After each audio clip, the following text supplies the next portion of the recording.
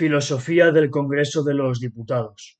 Haremos una breve reflexión sobre las posibilidades reales de esta institución. No será, por tanto, una reflexión teórica, sino una propuesta práctica. Me interesará saber qué opina el público al respecto, porque precisamente creo que estas ideas no se las puede tachar de utópicas, más bien al contrario, son el mínimo deseable. Deseo como introducción reflejar que historia, periodismo y filosofía son tres disciplinas claramente transversales, porque trabajan con información. Ese es su objeto de estudio y esa información debe ser sobre algo. Esas disciplinas sencillamente la manejan. La historia con respecto al paso del tiempo, el periodismo con respecto a las distintas fuentes y a la actualidad sería una historia del presente, el periodismo, y la filosofía sería quitando el tiempo. Por tanto, la historia sobre el pasado trabaja, el periodismo sobre el presente y la filosofía sobre lo eterno. Sobre el futuro no existe una disciplina como tal, pero digamos que esta supuesta futurología está repartida en todas las disciplinas de manera transversal, sobre todo en economía. Bien, la política, como digo, también es transversal, solo que en este caso mediante la acción, no solamente la información, que también debe recopilar, sino que sobre todo desea cambiar el mundo. Sin embargo, esto requiere obviamente información previa, como digo, pero repito, es la acción lo que trasciende a esa información previa por la que sí se manejan historia, periodismo y filosofía. Además, comunicación y liderazgo son dos nuevos conceptos que veremos en la última en la última parte, que es habilidad, ya lo explicaremos después, pero además comunicación y liderazgo quiero añadir que también son transversales en cualquier trabajo que se dirija respectivamente al colectivo, eso es la comunicación, un trabajo que se realiza al colectivo o desde el colectivo, eso es el liderazgo.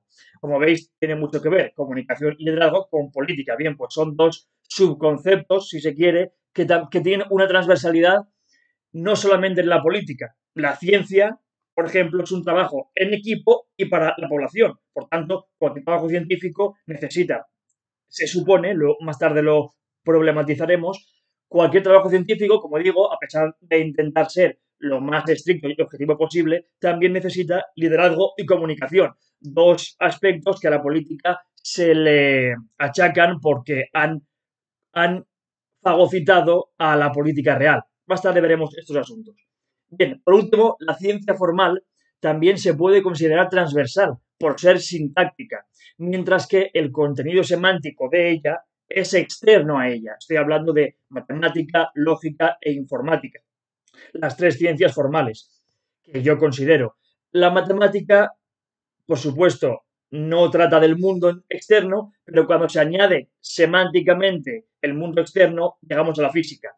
La lógica trata de proposiciones vacías, cuyo valor de verdad no está definido, pero cuando entramos en querer hablar del mundo, cobra valor esa lógica. Lo tenemos, por ejemplo, con las falacias. La lista existente de falacias deben, esas sí hablan del mundo y se pueden identificar en el mundo, en los discursos, en los textos, esas falacias que nacen de la lógica, que solo es sintáctica, al aplicar los valores de verdad, entonces encontramos la, las falacias aplicadas al mundo real. Aunque en las falacias el valor de verdad tampoco importa, es, una, es sencillamente una conexión lógica equivocada. Por tanto, ahí en la falacia sí tendríamos una lógica aplicada. Pero bueno, sigamos adelante. Y la informática es evidente que trata de información, como su nombre indica, pero un programador no puede programar sobre informática, sino que debe programar para algún objetivo externo al propio ordenador. Bien, estoy intentando con esta distinción caótica dignificar la política y el periodismo como transversales y es que son las disciplinas más difíciles, porque participan de la información que necesitan. Ahí está la clave. En la política es la ideología propia la que condiciona. Esto es distinto a la filosofía, porque en el caso político, esa ideología, ese conjunto de ideas, sí pretende cambiar el mundo. En la filosofía no, solo pretende explicarlo. De ahí el posible rechazo a Marx como filósofo, que algunos pueden sostener. Y en el periodismo es además la fuente externa, aparte de esa supuesta ideología propia que puede tener el periodismo, no debería tenerla, pero en, caso de que la tenga, además, seguro que sí tiene una dependencia de la fuente externa. Por tanto, como digo, he intentado trazar cuáles son las disciplinas transversales, historia, periodismo y filosofía, son evidentes. Además, yo añado la política, con esos dos subconceptos de comunicación y liderazgo. Y por último, añado incluso la ciencia formal, matemática, lógica, informática, que están vacías, aunque quiero rectificar que las falacias sí que son únicamente lógica pura, aplicada. Es decir, no hace falta semánticamente eh, completarlas. Las falacias funcionan sintácticamente. O sea que es una buena aproximación a cómo la ciencia formal sí tiene aplicación directa. Bien, aunque la falacia, evidentemente, no da información sobre el mundo. Claro, esa es la trampa. Detectar una falacia no aumenta tu información sobre el mundo. Por tanto, lo dejo en, suspenso. Eh, aumenta la información de manera negativa, es decir, señala lo que no es cierto, pero no señala lo que es correcto. Identificar una falacia no te da información te da información sobre que el hablante está mintiendo, o, está faltando la verdad, o está llegando a un punto vacío, en fin. Bien, pues, como digo, dignificamos la política del periodismo. Son las dos ciencias transversales o disciplinas transversales más difíciles y con menos prestigio. Es evidente que en la historia, la historia de por sí no existe, sino que debe ser historia de algo. Historia política, económica, historia del arte, es evidente. O historia específica de una región, de un pueblo, es decir, Historia general, que podríamos llamar historia antropológica, pero no nos engañemos, también es historia de algo. Se puede hacer historia de la ciencia, historia del deporte, cualquier cosa. Lo que llamamos historia, de manera neutral, es falso, es una historia antropológica. Pasa que solemos identificar la historia con la humanidad, pero podría ser así. Podríamos hacer la historia de la tecnología, lo cual puede segregarse explícitamente de la humanidad. Por tanto, cualquier historia es sobre algo. La historia neutral no existe. Ocurre que la historia general antropológica la solemos identificar con ella, pero no, también tiene un criterio previo. El periodismo, por supuesto, también tiene ciertas ramas o tipos, periodismo político, judicial, deportivo, del corazón, cultural, por tanto es evidentemente transversal, y la política sencillamente los ministerios que tiene. De manera trivial es transversal. Ministerio de Defensa, de Exterior, de Interior, de Ministerio de Justicia, en fin, podemos imaginar de medio ambiente, de trabajo, todas las posibilidades son evidentemente transversales. Y la filosofía, por supuesto, ética, política, estética, filosofía de la ciencia, epistemología, antología, metafísica. La, filosofía intenta tratar de todo. Existe la tendencia a decir que si tratas de todo, entonces no tratas de nada. O sea, lo, malo de la ciencia es que si quieres, saber mucho sobre un tema, pues reducido al absurdo, acabarás sabiendo todo sobre nada. Mientras que la filosofía quiere saberlo todo, pero si sabes todo, no distingues tus objetos de estudio, entonces acabas sabiendo nada. En fin, una pequeña distinción. Podemos entrar ya, después de esta transversalidad introductoria, a la filosofía del Congreso, defendiendo, como digo, que periodismo y política son las dos opciones transversales del conocimiento más difíciles. Y explicaremos por qué. La primera parte de la propuesta es el alto periodismo, como digo, dignificando de nuevo política, el periodismo y de manera unida. Es decir, el Congreso de los Diputados, la, actividad que debería realizarse en él es la de alto periodismo. Expliquemos. De esta manera se evita la demagogia. Me refiero a que una democracia no debe ser demagogia. Es la gran distinción que incluso creo que estará en Aristóteles o en la filosofía griega. Bien, el presidente o presidenta del Congreso lo que debe ser es un alto periodista, es decir, preguntar a cada diputado sobre exactamente la cuestión, obligarle a dilucidar sus argumentos, en fin, lo que se hace en el periodismo televisivo, esa interacción con el conferenciante o con el ponente, es lo que debería hacer el presidente del Congreso, que yo imagino que hace esto de manera previa a los plenos y sin cámaras, o sea, sin publicidad, sin hacerlo público. Porque el trabajo público del presidente del Congreso es ridículo en todo sentido. Sencillamente funciona como un profesor de un aula que intenta eh, calmar a los alumnos. Esto es inadmisible. Ese trabajo ni siquiera merece más atención que la de un policía. Podríamos colocar a un policía cuyo trabajo intelectual sobre los contenidos es nulo. Se refiere a las formas de comunicación, es decir, a mantener el respeto. Y estoy seguro de que puertas para adentro, la presidenta del Congreso sí realiza una gran labor eligiendo los temas de manera legal, es decir, el derecho del Congreso. Sería como el, la presidenta del Congreso sería como una abogada del Estado del Congreso o abogada del Congreso. Lo hemos visto en Cataluña como el presidente del Parlamento tuvo problemas por eso, por admitir o no según qué temas, en fin, consensuar los temas de los que se habla, pero eso la población no lo ve. Por tanto, yo pediría que la presidenta del Congreso ejerza un alto periodismo. Veamos por qué.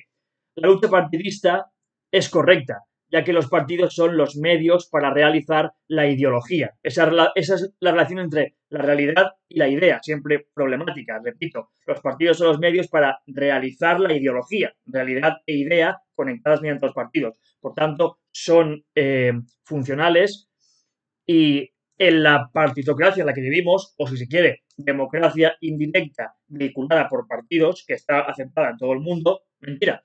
En los países, en los estados socialistas, no. Pero en la mayoría de países de la ONU, es que en este vídeo no quiero revelar mi ideología personal, sencillamente quiero analizar el Congreso de los Diputados. Por tanto, ya que todos los partidos en él están de acuerdo con esta partitocracia, o si se quiere, democracia indirecta vehiculada por partidos, pues entonces el partidismo es correcto. Es decir, estás defendiendo tu medio para llegar a la ideología. Es decir, el partido antes que mi persona tiene sentido, porque el partido es lo que manda. Bien, pero deberá hacerse mediante argumentos de peso, no insultos ni ataques a la imagen. Eso es lo que sería demagógico. Por tanto, yo creo, yo sí creo en la lucha partidista. Yo no deseo eliminar la emoción del Congreso, ni el amor al partido propio. Es que tiene pleno sentido. Si crees que la sociedad necesita cambios, tiene sentido que quieres más a tu partido que a la sociedad.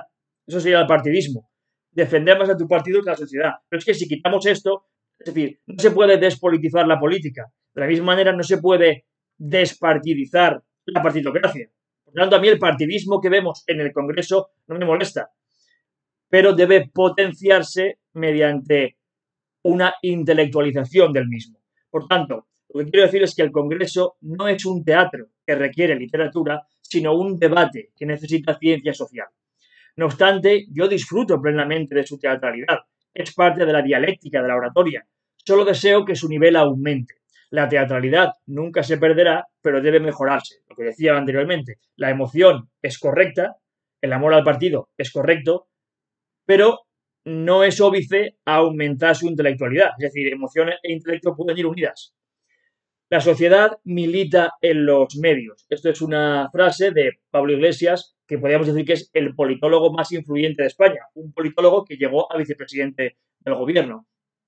Creo que tiene razón, es cierto, tampoco sé si la frase es suya originalmente, pero él la defiende, y es cierto, incluso la sociedad piensa en los medios, aquí está la trampa, es porque estos medios, el periodismo, permiten autocrítica, no como los partidos, pues esto debe mejorarse la partidocracia puede llevar a un partidismo tóxico. Yo deseo que, que haya fidelidad al partido. Es decir, yo entiendo un partidismo de manera generosa, un partidismo positivo, no un, no un partidismo negativo corrupto, corrupto, o sea, un partidismo ideológico. Tú defiendes al partido porque crees que tiene la mejor ideología. En este sentido, el transfugismo tiene poco sentido, a no ser que el partido fundamentalmente cambie. En fin, por tanto, debería pensar, la sociedad yo creo que debería pensar no en los medios, el país, el mundo, ABC, público, de prensa escrita o de radio, la COPE, Onda Cero, la SER, o la televisión, la Sexta Telecinco, eh, Antena 3, la 1, no. Debería pensar en los partidos, la sociedad, y contrastar sus pensamientos en el Parlamento. El zapping televisivo para, para contrastar ideologías debería ocurrir en el propio Parlamento sería el cerebro del Estado. Esa es mi conclusión. El Parlamento debe ser el cerebro del Estado. Que bueno, es una conclusión, es una idea filosófica que está presente en el canon occidental, es evidente. Lo que yo sostengo es que sí puede realizarse. El Parlamento como el cerebro del Estado no es una utopía, como decía al principio. Yo creo que es un objetivo bastante sencillo. Si hay voluntad política, lo que se dice siempre, bastante sencillo, eh, es muy difícil cambiar la sociedad. Me refiero formalmente es sencillo. Entendamos que la abolición de la democracia no es sencilla, por una anarquía perfecta no es sencilla, o la renovación de energías, o sea, la instauración de energías renovables tampoco es algo sencillo, o aumentar el nivel cultural de la población española rápidamente, tampoco es sencillo, pero este cambio, una reforma del Parlamento para hacerlo el cerebro del Estado, eso sí sería viable. Bien, pues pasemos a el segundo tipo, es decir, cómo convertimos en alto periodismo, o sea, en jugar con la información de una manera intelectual y aceptable sin demagogia, cómo convertimos al Congreso en eso, en el cerebro del Estado. La segunda parte, corrección de datos, trata de este tema. Sería lo que suele llamarse en inglés, porque proviene de allí el concepto, imagino, el fact check. Repito, en, en castellano, comprobación de datos. Debería existir en el propio Congreso un grupo que funcionase como un centro de comprobación de datos. Yo pongo como posibles acreedores de este título, podrían funcionar de esta manera el Banco de España, abogados del Estado, el CIS, o sea, el Centro de Investigaciones Sociológicas, que hace encuestas, o incluso el Defensor del Consumidor, estas cuatro propuestas, o si no, sencillamente una, un órgano público nuevo, independiente, se llamaría Centro de Comprobación de Datos. Es que esto ocurre en televisión, creo que la sexta es la cadena que más lo hace, que contrasta a tiempo real o en el mismo día las proposiciones de los políticos con la realidad empírica. Esto debería ocurrir en el propio Parlamento y no de una manera de enemistad para con el político, al revés, de amistad. Ese centro de comprobación de datos, claro, quizás en el, en el término hay un pequeño prejuicio. No, hace falta que sea de comprobación, sería corrección de datos tampoco. Un centro de adquisición de datos, si se quiere. Cualquier político puede recurrir a ese centro que se haya representado, pues, eh, cinco trabajadores con cinco ordenadores, así de simple. Pueden, cualquier político, como digo, eh, pedir datos o contrastar datos de otro político, es decir, que estarían allí mismo. Recordemos que en el Congreso, bajo, aparte de estar Echenique, por razones de movilidad, hay dos personas transcribiendo las palabras. Eso es innecesario. No hace falta que estén aquí esas personas. Bien, pues en esa mesa central, abajo, en el Congreso de los Diputados, ahí debería haber trabajadores con ordenadores capaces de exponer los datos que cualquier parlamentario le pida o de contrastarlos a tiempo real. Y la presidenta del, del Parlamento es la que debe controlarlos. Por tanto, eso sería por fin el alto periodismo que pedimos. Bien, pues profesionales deben estar presentes para ofrecer o corregir cualquier cuestión en tiempo real.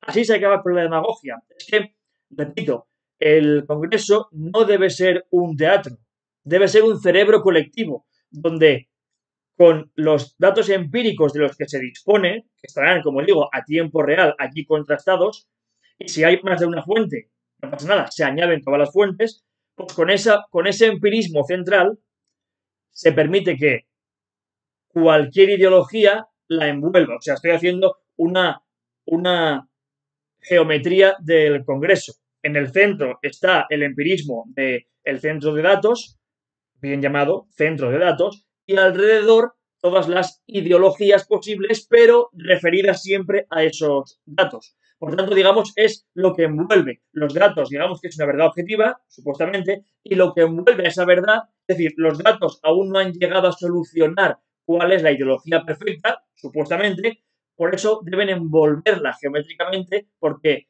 es lo que está más allá del centro de seguridad absoluta que serían los datos. Por tanto, tendría la geometría del Congreso tendría sentido. El empirismo en el centro y lo que todavía no puede ser empírico lo dejamos como racionalista o como, si, si se quiere, idealista o sencillamente ideológico. Entonces creo que esto funcionaría muy bien. Y la pared del Congreso, porque es un semicírculo, no un círculo completo. Bien, pues la pared sería el mando, es decir, lo que el presidente del Congreso y sus colaboradores, secretarios creo que se llaman, secretarios, dirigirían ese combate dialéctico, sabiendo que hay una pared, un muro infranqueable, que es el de la verdad absoluta, que nunca se puede contener. Por tanto, esa geometría del Congreso me parece eh, eh, fantástica, fascinante, y debería ser así. Repito por último. El centro es empirista, el semicírculo es racionalista y el muro es sencillamente filosófico porque significa que la verdad social nunca será conocida, pues ese muro lo, lo atestigua.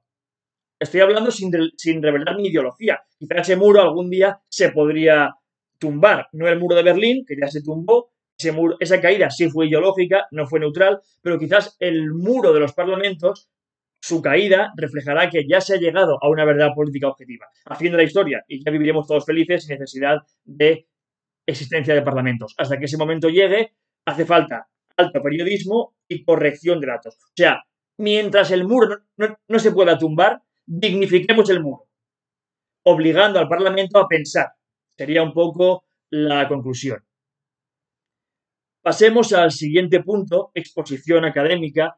Y yo, además del centro de datos de la mesa del Congreso como dirigente intelectual de los debates, quiero que exista una exposición académica. Por supuesto, con una pantalla grande para mostrar y sobre el muro, una pantalla sobre el muro, para mostrar los datos que el orador o el replicante o el centro de comprobación o la institución del Estado que sea quiera mostrar.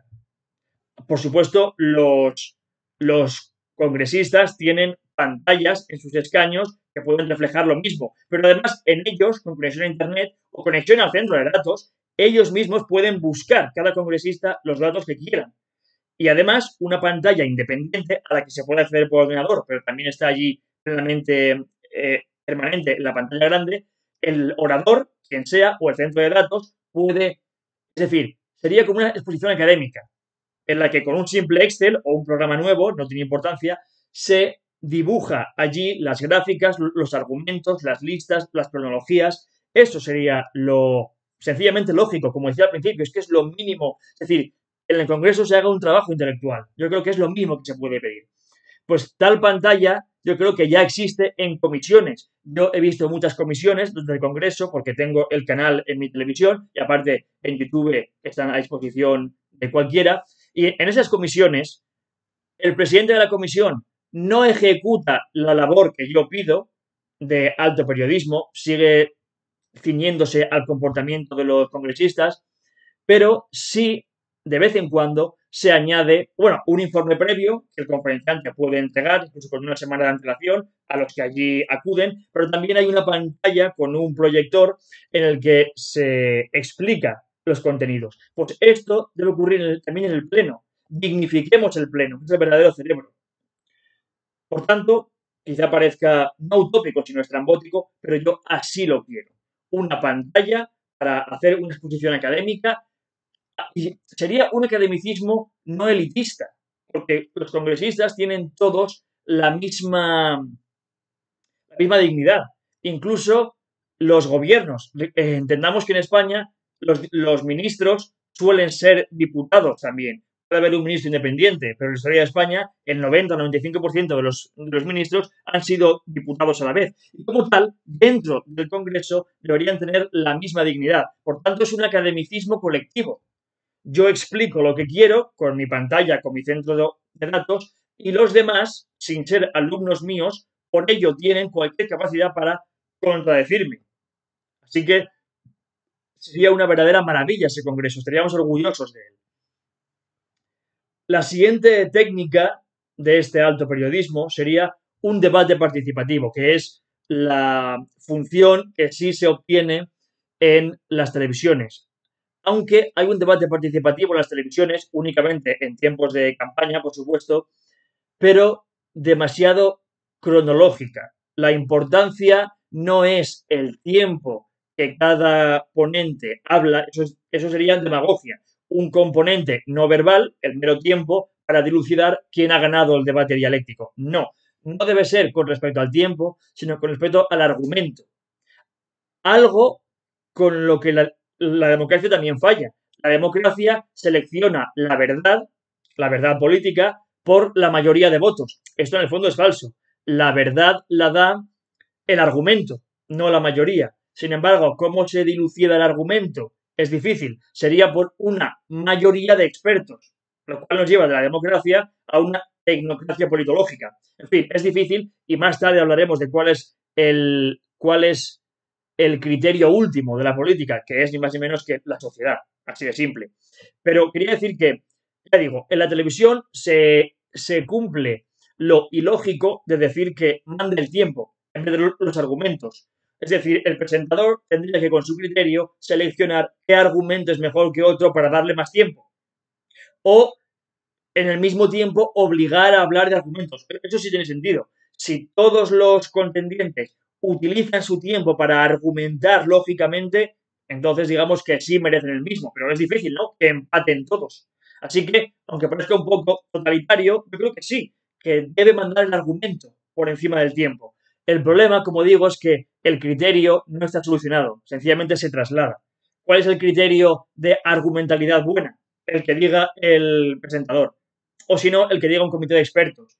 Pero claro, estamos, como digo, trasladando ese criterio a otros lugares. Por tanto, como el criterio es tan difícil, las televisiones lo que intentan es dar el mismo tiempo a todos, al margen de su capacidad argumentativa o su nivel intelectual. Bien, pues como digo, ese debate participativo yo creo que sí, eh, perdón, este debate participativo creo que, sintiéndolo mucho, es que el criterio debe humanizarse. Por tanto, el presidente del Parlamento y la mesa del Parlamento son elegidos para ejecutar ese criterio y después el árbitro último será la sociedad. Si un presidente del Parlamento organiza mal los debates y lo hace de manera partidista, en, el mal sentido, ¿no? Claro, el presidente del Congreso incluso podríamos pensar que debe ser independiente. Fíjate, no lo había pensado, pero lo, lo digo ahora. Es muy posible que el presidente del Parlamento debería ser quizás un catedrático de periodismo, alguien independiente, no partidista, porque yo entiendo y tendría pleno sentido, no sería antiético, que siendo de un partido como presidente del Congreso, des más tiempo a tu partido, no por un partidismo superficial de ganarte el pan, no, un partidismo profundo, porque tú crees que los argumentos de tu partido son mejores que los demás y para que España se engrandezca, o para que España mejore, sencillamente, se necesita que hable más tu partido. Por tanto, ese partidismo, que subjetivamente existe, el presidente y la mesa del Congreso, lo que se puede hacer es que la mesa del Congreso esté representada por todos los partidos de manera automática o semiautomática. Entonces, sí. Por tanto, o de manera independiente o de manera intentando ser objetiva, la mesa del Congreso debe tomar el papel del criterio argumental o argumentativo. No funciona por tiempos la oratoria, funciona por el nivel de los argumentos. Así que sería dificilísimo ser presidente del Congreso lo más difícil. Pero ahí está. Si alguien quiere presentarse y, quiere tener ese poder, debe también respetar esa responsabilidad que va sujeta a él. Así que, para mí, el trabajo más difícil de España, en términos politológicos, sería ser presidenta del Congreso. Porque debes dilucidar con ayuda de expertos. Eso sí, puede haber expertos en dialéctica, en falacias, en lo que se quiera, que ayuden a la mesa del Parlamento. Pero es, pero es que, como digo, el criterio al final es humano. Alguien debe, es como el juez. Los jueces se equivocan, es evidente, pero alguien debe tener esa responsabilidad. Pues, repito, por último, el presidente del Parlamento debe tomar la responsabilidad de saber qué argumento es mejor que otro y no funcionar meramente por tiempos. Estoy harto en el Congreso de ver cuando a un congresista se le acaba el tiempo y le quedan tres frases, se le corta el tiempo. No tiene sentido. Si lo que dices es estúpido, se lo cortas antes. Y si lo que dices es interesante, se lo alargas. Así de simple. Bien, pues como digo, este debate participativo, las técnicas que yo propongo es que la interrupción exista, aunque interrupción admitida. Es decir, el orador o el replicante. Digo, después de esta interrupción. El orador o el replicante pueden decidir en cualquier momento si quieren ser interrumpidos cuando alguien desde el, punto primario, ¿cómo se llama? En fin, desde el escaño o desde... Voy a buscar el nombre. Que no importa, desconozco el nombre. Desde la tribuna del orador o desde su propio escaño, la figura del orador debe existir, el que tiene la palabra, pero en cualquier momento puede decidir si quiere ser interrumpido, que esto lo que hace es engrandecer al orador. Por tanto, y además evita que el discurso venga demasiado escrito, sin posibilidad de respuesta. Lo que queremos en el Congreso es que haya reciprocidad. Por tanto, esto lo he visto también en el Parlamento inglés. Quizás la democracia que tienen de 400 años les ayude a tener este, estos técnicas más avanzadas. Pues bien, yo quiero que el orador pueda ser interrumpido en cualquier momento si él lo decide, es decir, cualquier otro congresista levanta la mano y el orador decide si le quiere dar paso o no. El caso es que engrandece al orador el darle paso. Por tanto, la interrupción, cuando tiene sentido intelectual, no es una ofensa para el orador. Al revés, es que alguien le está escuchando, le, está interpretando sus palabras con atención y piensa que puede rebatirlas. O sea que es un inicio de búsqueda de la verdad. Y en todo caso, incluso si el orador decide no dar paso a la interrupción, la presidenta del Congreso puede forzarla. Si a ella, es decir, puede forzar, aquí sí que he puesto unas, unos pequeños tiempos. La interrupción puede ser, eh, el orador elige si será de un minuto, de cinco minutos, de diez minutos o indefinida. Y también la presidenta lo puede elegir, pero se puede componer con las reglas que la presidenta, si desea aceptar una interrupción, da un minuto al diputado para exponer sus motivos y después de ese minuto de previo puede dar a su vez otro minuto o cinco o diez o indefinido. O sea, indefinido quiere decir hasta que la presidenta o el replicante quiera acabar. Por tanto, la interrupción es válida y valiosa en el Congreso, justo lo contrario de lo que se piensa ahora. Que Actualmente solamente se interrumpe cuando alguien falta al honor de otro diputado, entonces la presidenta entra de oficio. Pues no solamente por el derecho al honor debe existir, pero es muy pequeño en comparación con el derecho al progreso social. Así que no es solamente el honor el que debe mandar la interrupción, sino eh, el contenido intelectual es el que debe hacerlo. Bien, pues como digo, el orador decide si quiere ser interrumpido, pero el replicante puede ser interrumpido en cualquier momento. No, mentira, mentira. Tiene uno, cinco, diez minutos, ¿de acuerdo? Vale, el replicante no puede ser interrumpido o quizás se puede dar un minuto de interrupción al orador por si quiere clarificar algo, pero ya entramos en una espiral. Yo diría que el replicante no debería ser, no debería ser interrumpido, mientras que el replicante sí debe contestar siempre. Esa es la diferencia. Esta es la dignidad preeminente del orador en el sentido siguiente. El orador decide si quiere ser interrumpido. Pero si el orador nombra a cualquier congresista, ese debe responder obligatoriamente, sin límite de tiempo, hasta que el orador se sienta satisfecho. Esto es lo que yo quiero. Y además, para no caer en el espiral de interrupciones, propongo una figura nueva que es el careo, que ya existe en el proceso judicial. Y es que cualquier congresista puede, si se quiere hacer de manera heroica, puede tentar a un duelo a cualquier otro, a un careo, en el cual los dos hablan sin límite de tiempo e interrupción permanente hasta que el presidente o uno de ellos quiera finalizar ese careo. Por eso digo que la interrupción existe, por supuesto, debe ser reglamentada, es evidente, pero el careo da interrupción total y como digo, que quede claro, el orador puede ser interrumpido durante 1, 5, 10 o indefinidos minutos si él mismo lo quiere o si el presidente, por alguna razón que él considera de máximo peso, le obliga. Y el replicante puede ser, como digo, dictaminado por el, orador. Si el orador te obliga a responder, esa persona debe responder, porque es su trabajo estar preparada para responder esa persona. Así que, por supuesto, si la persona se niega, habría sencillamente un sistema de puntos, es decir, un, parlamentario no se le puede echar del Parlamento porque ha sido elegido por la sociedad. Pero si vemos que incumple las reglas dialécticas, la sociedad misma será la que eche a ese diputado. es decir, no le votará nunca más. Entramos aquí en que haría falta para esto una reforma electoral, habiendo listas abiertas. O sea, que, que se pueda elegir a qué diputado concreto irá, porque si no, se queda en el partido que digamos que si el partido es responsable y ve que la sociedad no quiere a cierto diputado porque no hace bien su trabajo, el propio partido lo echará en sus filas. En fin, como digo, el criterio no es nunca salvable. O el criterio de expulsión está en el Congreso, sería demasiado duro, o está en el partido, creo que sería posible, o si no está en la propia sociedad, sería lo mejor, que la sociedad no vote a los diputados que piense que son ineficaces. Bien, pues ahí está. He reclamado ese debate participativo con interrupción o careo y demás. El siguiente paso es el parlamento participativo.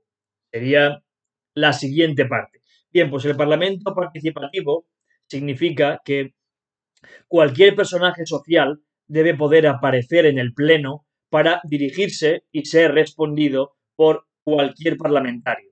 Cuando digo personaje social o de relevancia social, me refiero a cualquier representante de un sindicato o de una empresa o cualquier colectivo, estudiantes, amas de casa, eh, médicos, obreros, me refiero a la, de la construcción, en fin, cualquiera, científicos.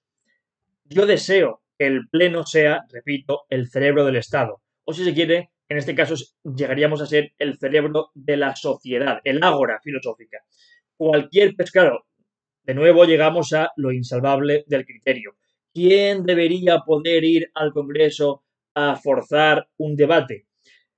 Pues la presidenta del Congreso lo puede seleccionar, pero si no, la propia sociedad mediante las firmas. Así que que las firmas que actualmente ya existen para proposición de ley también sean de proposición de debate o conjuntamente, proposición de ley previo debate. Y que las firmas puedan incluso hacerse internauticas, hacerse por Internet. Firmas muy cómodas. Eso sí sería un parlamento participativo. Es decir, se habla mucho de democracia participativa, pues yo creo que no hay nada más participativo que entrar al pleno del Congreso, ni siquiera a comisión. Yo creo que el pleno es preferible por la atención. Además, un, parlamentario debe trabajar ocho horas o doce horas, no importa, debe trabajar. Así que yo quiero dignificar el pleno y se dignifica cuando la calle entra al pleno o el pueblo entra al pleno. Así que sí, cualquier empresario, sindicato que desee hacerlo, por motu propio, o sea, si fuese por mí, la presidenta debe ser muy generosa cuando haciendo que entre allí cualquier tipo de colectivo, y si no, las firmas. O que cualquier partido o cualquier grupo parlamentario pueda traer a cualquier persona del exterior para que hable allí. Vemos que nos acercamos casi a mm, los testigos de un juicio, o en este caso los peritos de un juicio. Yo creo que sí, que el poder legislativo debe aprender mucho del poder judicial en cuanto a la participación de la población. Hablamos del jurado popular de los juicios, sería sencillamente en una democracia los votantes, pero los peritos de los juicios deben ser, deben también existir. Pensamos que están en los partidos, es decir, que en cada partido hay técnicos, economistas, eh, abogados o, digamos juristas. Bien, en cada partido puede haber peritos, digamos expertos, pero la sociedad propia tiene los suyos. Digamos que no están contaminados, si se quiere, por un partidismo excluyente. Así que sí, el Parlamento debe ser participativo y cualquier representante de la sociedad debemos ser muy generosos para que acuda allí a hablar. Además, esto acerca al Parlamento a la población, ¿Qué es lo que queremos. En Estados Unidos hemos visto como el, fundador de Facebook, Mark Zuckerberg, creo que se llama, fue allí. Eso acerca a la población al Congreso. El Congreso es nuestro, debería ser nuestro cerebro. Dado que no todos podemos estudiar política, pero sí podemos, mediante escuchar sus consecuencias, aprender de política. Sí, creo que esto no es una utopía, sino un mínimo. Que el debate sea participativo, como ya he dicho antes, pero además que el Parlamento sea participativo. Creo que es lo mínimo y cualquier ciudadano, digamos que puede soñar con ser presidente del gobierno, pero también puede soñar sencillamente sin necesidad de dedicarse a una carrera política es agotadora y que requiere la entrada en un partido previo, porque siendo independiente es difícil llegar, que cualquier persona pueda soñar con llegar al cerebro colectivo a dar su idea. Eso sería precioso. Sería una democracia cuasi directa, llamémoslo así. Una, una democracia directa sería votar cada día cada ley yo entiendo que la democracia directa pueda resultar difícil, votar cada día cada ley, pero la democracia indirecta participativa debe permitir que los, los grupos sociales, los colectivos, acudan al Congreso a defender su ley o sencillamente a, decir su postura de una manera dignificada en frente de toda la población. Eso es lo que ocurre en un ágora. Los ciudadanos, todos, si puede ser, llegan para entablar un debate. Bien, pues el conjunto de jubilados que se manifestaban en España deben elegir un representante, o tres o cinco, no importa, para que vayan al Congreso a hablar allí con la sociedad. O sea, el Congreso es una pequeña sociedad de técnicos políticos. Eso es lo que debería ser y que podría ser fácilmente. Repito que no estoy revelando con esto mi ideología. El, el siguiente paso es el Parlamento intelectual. Como decía anteriormente, la democracia directa sería anarquía. Así de simple. Quien, quien defiende la democracia hasta sus fines últimos llega a la anarquía. Por tanto, quien no sea anarquista es un demócrata moderado, porque cree que la democracia indirecta es mejor, quizá porque están más formados los políticos que la población en general, en fin. La democracia participativa es de izquierdas. Históricamente, bueno, no, en la actualidad, quien pide una democracia más participativa suele ser la izquierda, lo cual tiene pleno sentido, con el supuesto elitismo económico y, como vemos también, político, institucional, se ataca a la derecha. Es decir, el elitismo económico de la derecha, defensa del empresario por encima del trabajador, se ve también en su parlamentarismo. La derecha no suele querer un parlamentarismo participativo y tiene plenos motivos. Puede pensar que esa sociedad debe votar a los técnicos expertos en política, no acceder ella directamente a la política porque sus argumentos no son lo suficiente buenos, o sencillamente porque se genera demasiada tensión, o sencillamente porque cree en el Parlamento como separación de la sociedad. Esto un, puede existir, sería un parlamentarismo moderado, ya digo, asociado más a la derecha que a la izquierda. Luego veremos qué opina el centro. Pero la derecha debe decir esto. En este debate debe posicionarse. Ya digo, es digno, es aceptable decir que la participación externa no añade valor al Parlamento sino que le resta tiempo en sus funciones. Tiene sentido. Y que de hecho, si el colectivo de jubilados quiere defender una ley, puede hacerlo mediante los partidos. Sencillamente. O sea, la derecha cree más en los partidos que en la sociedad.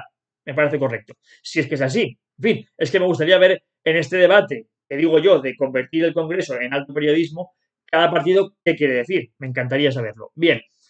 Como digo, mi propuesta podría considerarse en este caso de centro. Es decir, el parlamentarismo, el parlamentarismo intelectual que yo propongo podría ser neutro en el eje socioeconómico. Aún así, repito, yo sé que la democracia históricamente la ha defendido la izquierda, es evidente, igual que el feminismo, igual que el gasto social, que ahora en la actualidad la derecha quiere reducirlo, pero, pero todavía lo apoya. O sea que es evidente, aunque parezca mentira, que la democracia, el parlamentarismo, el voto femenino, aunque hoy se consideren neutrales, históricamente no lo han sido, han sido de izquierdas. Sin embargo, esta propuesta que hago yo, que podría deducirse que es de izquierdas, no tiene por qué, podría ser de centro. Yo no estoy revelando mi ideología, en el sentido de que esta postura sostiene, la que yo defiendo, que las, no, perdón, el centro político sostiene que las instituciones liberales, democracia liberal en la que estamos y economía de mercado, no funcionan o, o funcionan mal por culpa de la imperfección humana. Esto es lo que dice el centro. La izquierda diría que el sistema está mal. La derecha diría que el sistema estuvo bien. O sea, quiere retroceder. El sistema estuvo bien, pero los cambios sociales son demasiado rápidos y impiden ese funcionamiento perfecto.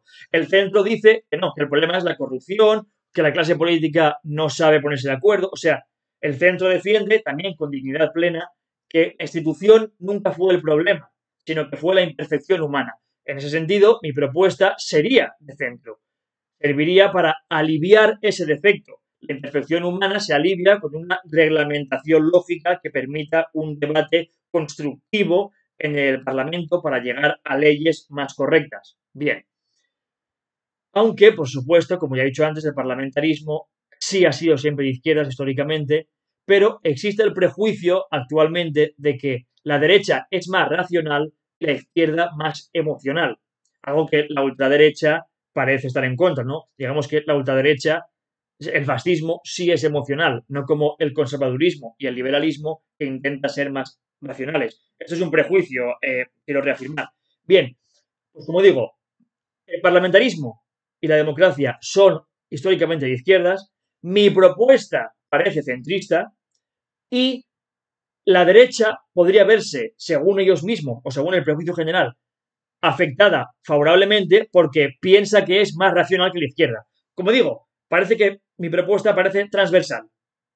el aumento del parlamentarismo o la profundización del parlamentarismo puede parecer de izquierdas, sin embargo, la propuesta intentando eh, aliviar la imperfección humana parece de centro y supuestamente favorecería a la derecha, porque cree ser más intelectual que el centro y la izquierda.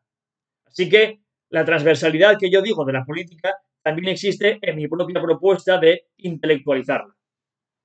Y de hecho, en las comisiones el nivel aumenta considerablemente. O sea que mi propuesta de Parlamento Intelectual ya está ejecutándose, solo que a nivel de comisiones. Yo pretendo trasladarla al Pleno y profundizarla. En las comisiones, como digo, el nivel intelectual aumenta considerablemente, yo he visto muchas, dado que la presión social es menor. En ellas, como tienen mucha menor trascendencia, no hay ese gusto por la teatralidad, o no tiene sentido esa teatralidad, no funciona igual de bien, porque menos gente lo va a ver.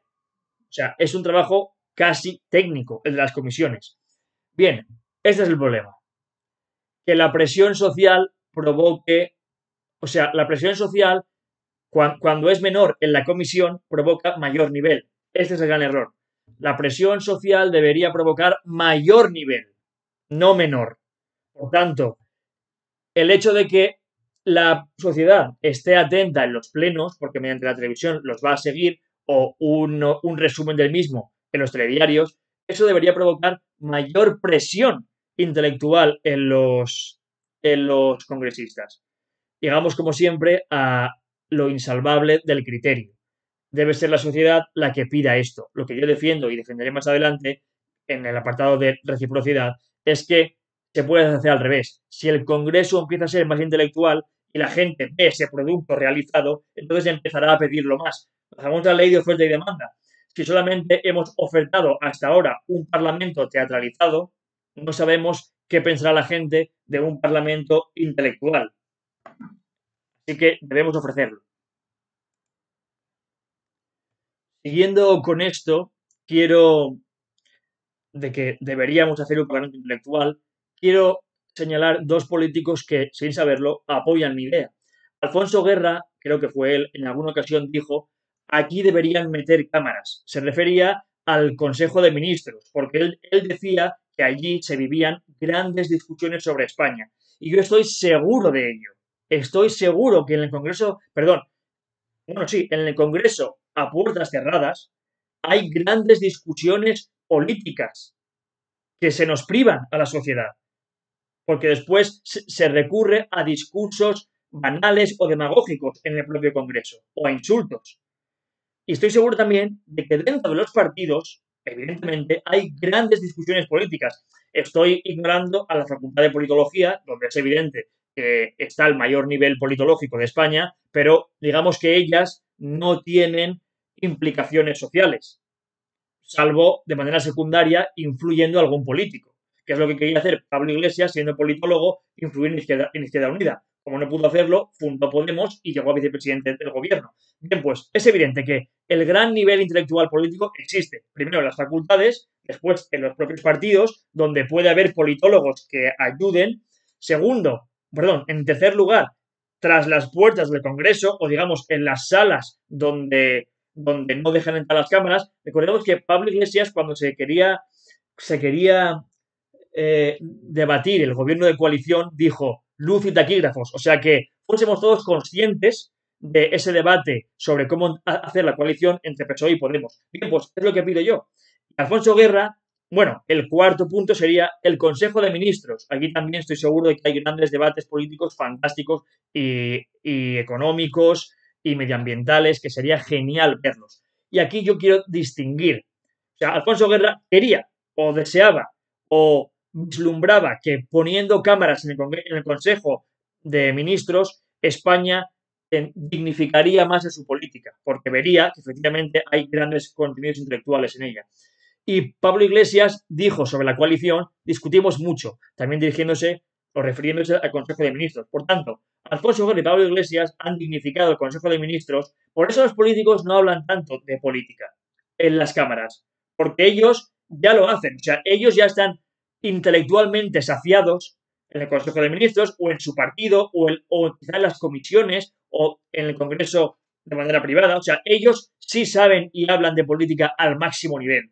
El problema es que nos impiden al resto conocerlo. Bien, pues, aunque en el Ejecutivo no se haga, es decir, yo entiendo esa diferencia entre poder legislativo y ejecutivo. Alfonso Guerra y Pablo Iglesias hablan de que, discuten mucho en el Consejo de Ministros. Quizás ahí las cámaras no podían entrar, pero en el poder legislativo sí deberían. Entramos con esto en la siguiente sección, la del secreto. Existen socialmente muchos secretos. El primero, oficial, sería los secretos de Estado. Y hay una comisión llamada así, Comisión para los Secretos de Estado, algo parecido. Por tanto, el secreto existe en, nuestra costumbre constitucional. El secreto de Estado, hay una comisión donde no hay cámaras y incluso los ministros tienen obligación de guardar secreto de lo que se habla en el Consejo de Ministros, por eso las cámaras no pueden entrar. Por tanto, yo, como digo, entiendo el secreto, admito el secreto de la sociedad y hay muchos tipos, tengo aquí varios. El secreto de Estado, que ya existe en la Constitución, me parece me parece aceptable, aunque por supuesto discutible. Un secreto judicial, que se llama a veces el secreto sumario. Es decir, y tiene sentido. El secreto de Estado tiene sentido porque todavía existe la geopolítica.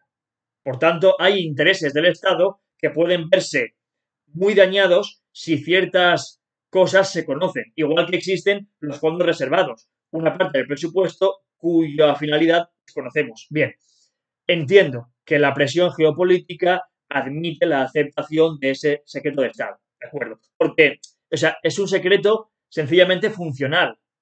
Sin el secreto no funcionaría la institución. O sea, que no aceptable, es casi obligatorio. Bien, pues el secreto de Estado lo admito.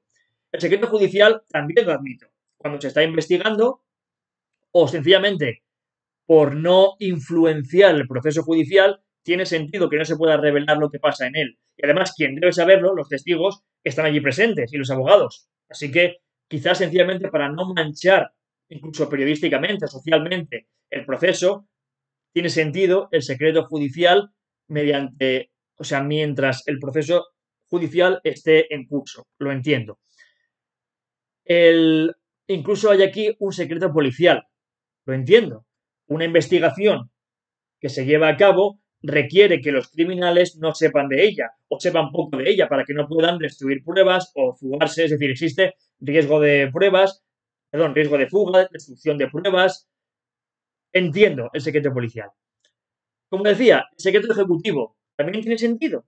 El, el secreto ejecutivo puede tener sentido porque no por los problemas particulares de cada partido, sino porque quizás las medidas concretas que va a adoptar ese Consejo de Ministros necesitan de secretismo. Lo hablaremos ahora. Bien, como quería decir, sobre el secreto ejecutivo tengo dudas. El secreto judicial tengo toda la impresión de que debe existir porque dificulta el proceso judicial. El siguiente, que será el secreto legislativo, creo que es evidente que no debe existir. De hecho, la inversa tampoco existe. Voy a explicarme. El desconocimiento de la ley no exime de su cumplimiento. Por tanto, el secreto para el receptor de la ley está abolido. Eh, la falta de información, quiero decir. El secreto entendido semánticamente como falta de información intencional o, o en el caso del desconocimiento incluso no intencional. Quiero decir que el criminal o el, delincuente desconozca la ley y pueda haber cometido un delito sin intención, a pesar de eso no le exime. Es decir, no es un atenuante el desconocer la ley.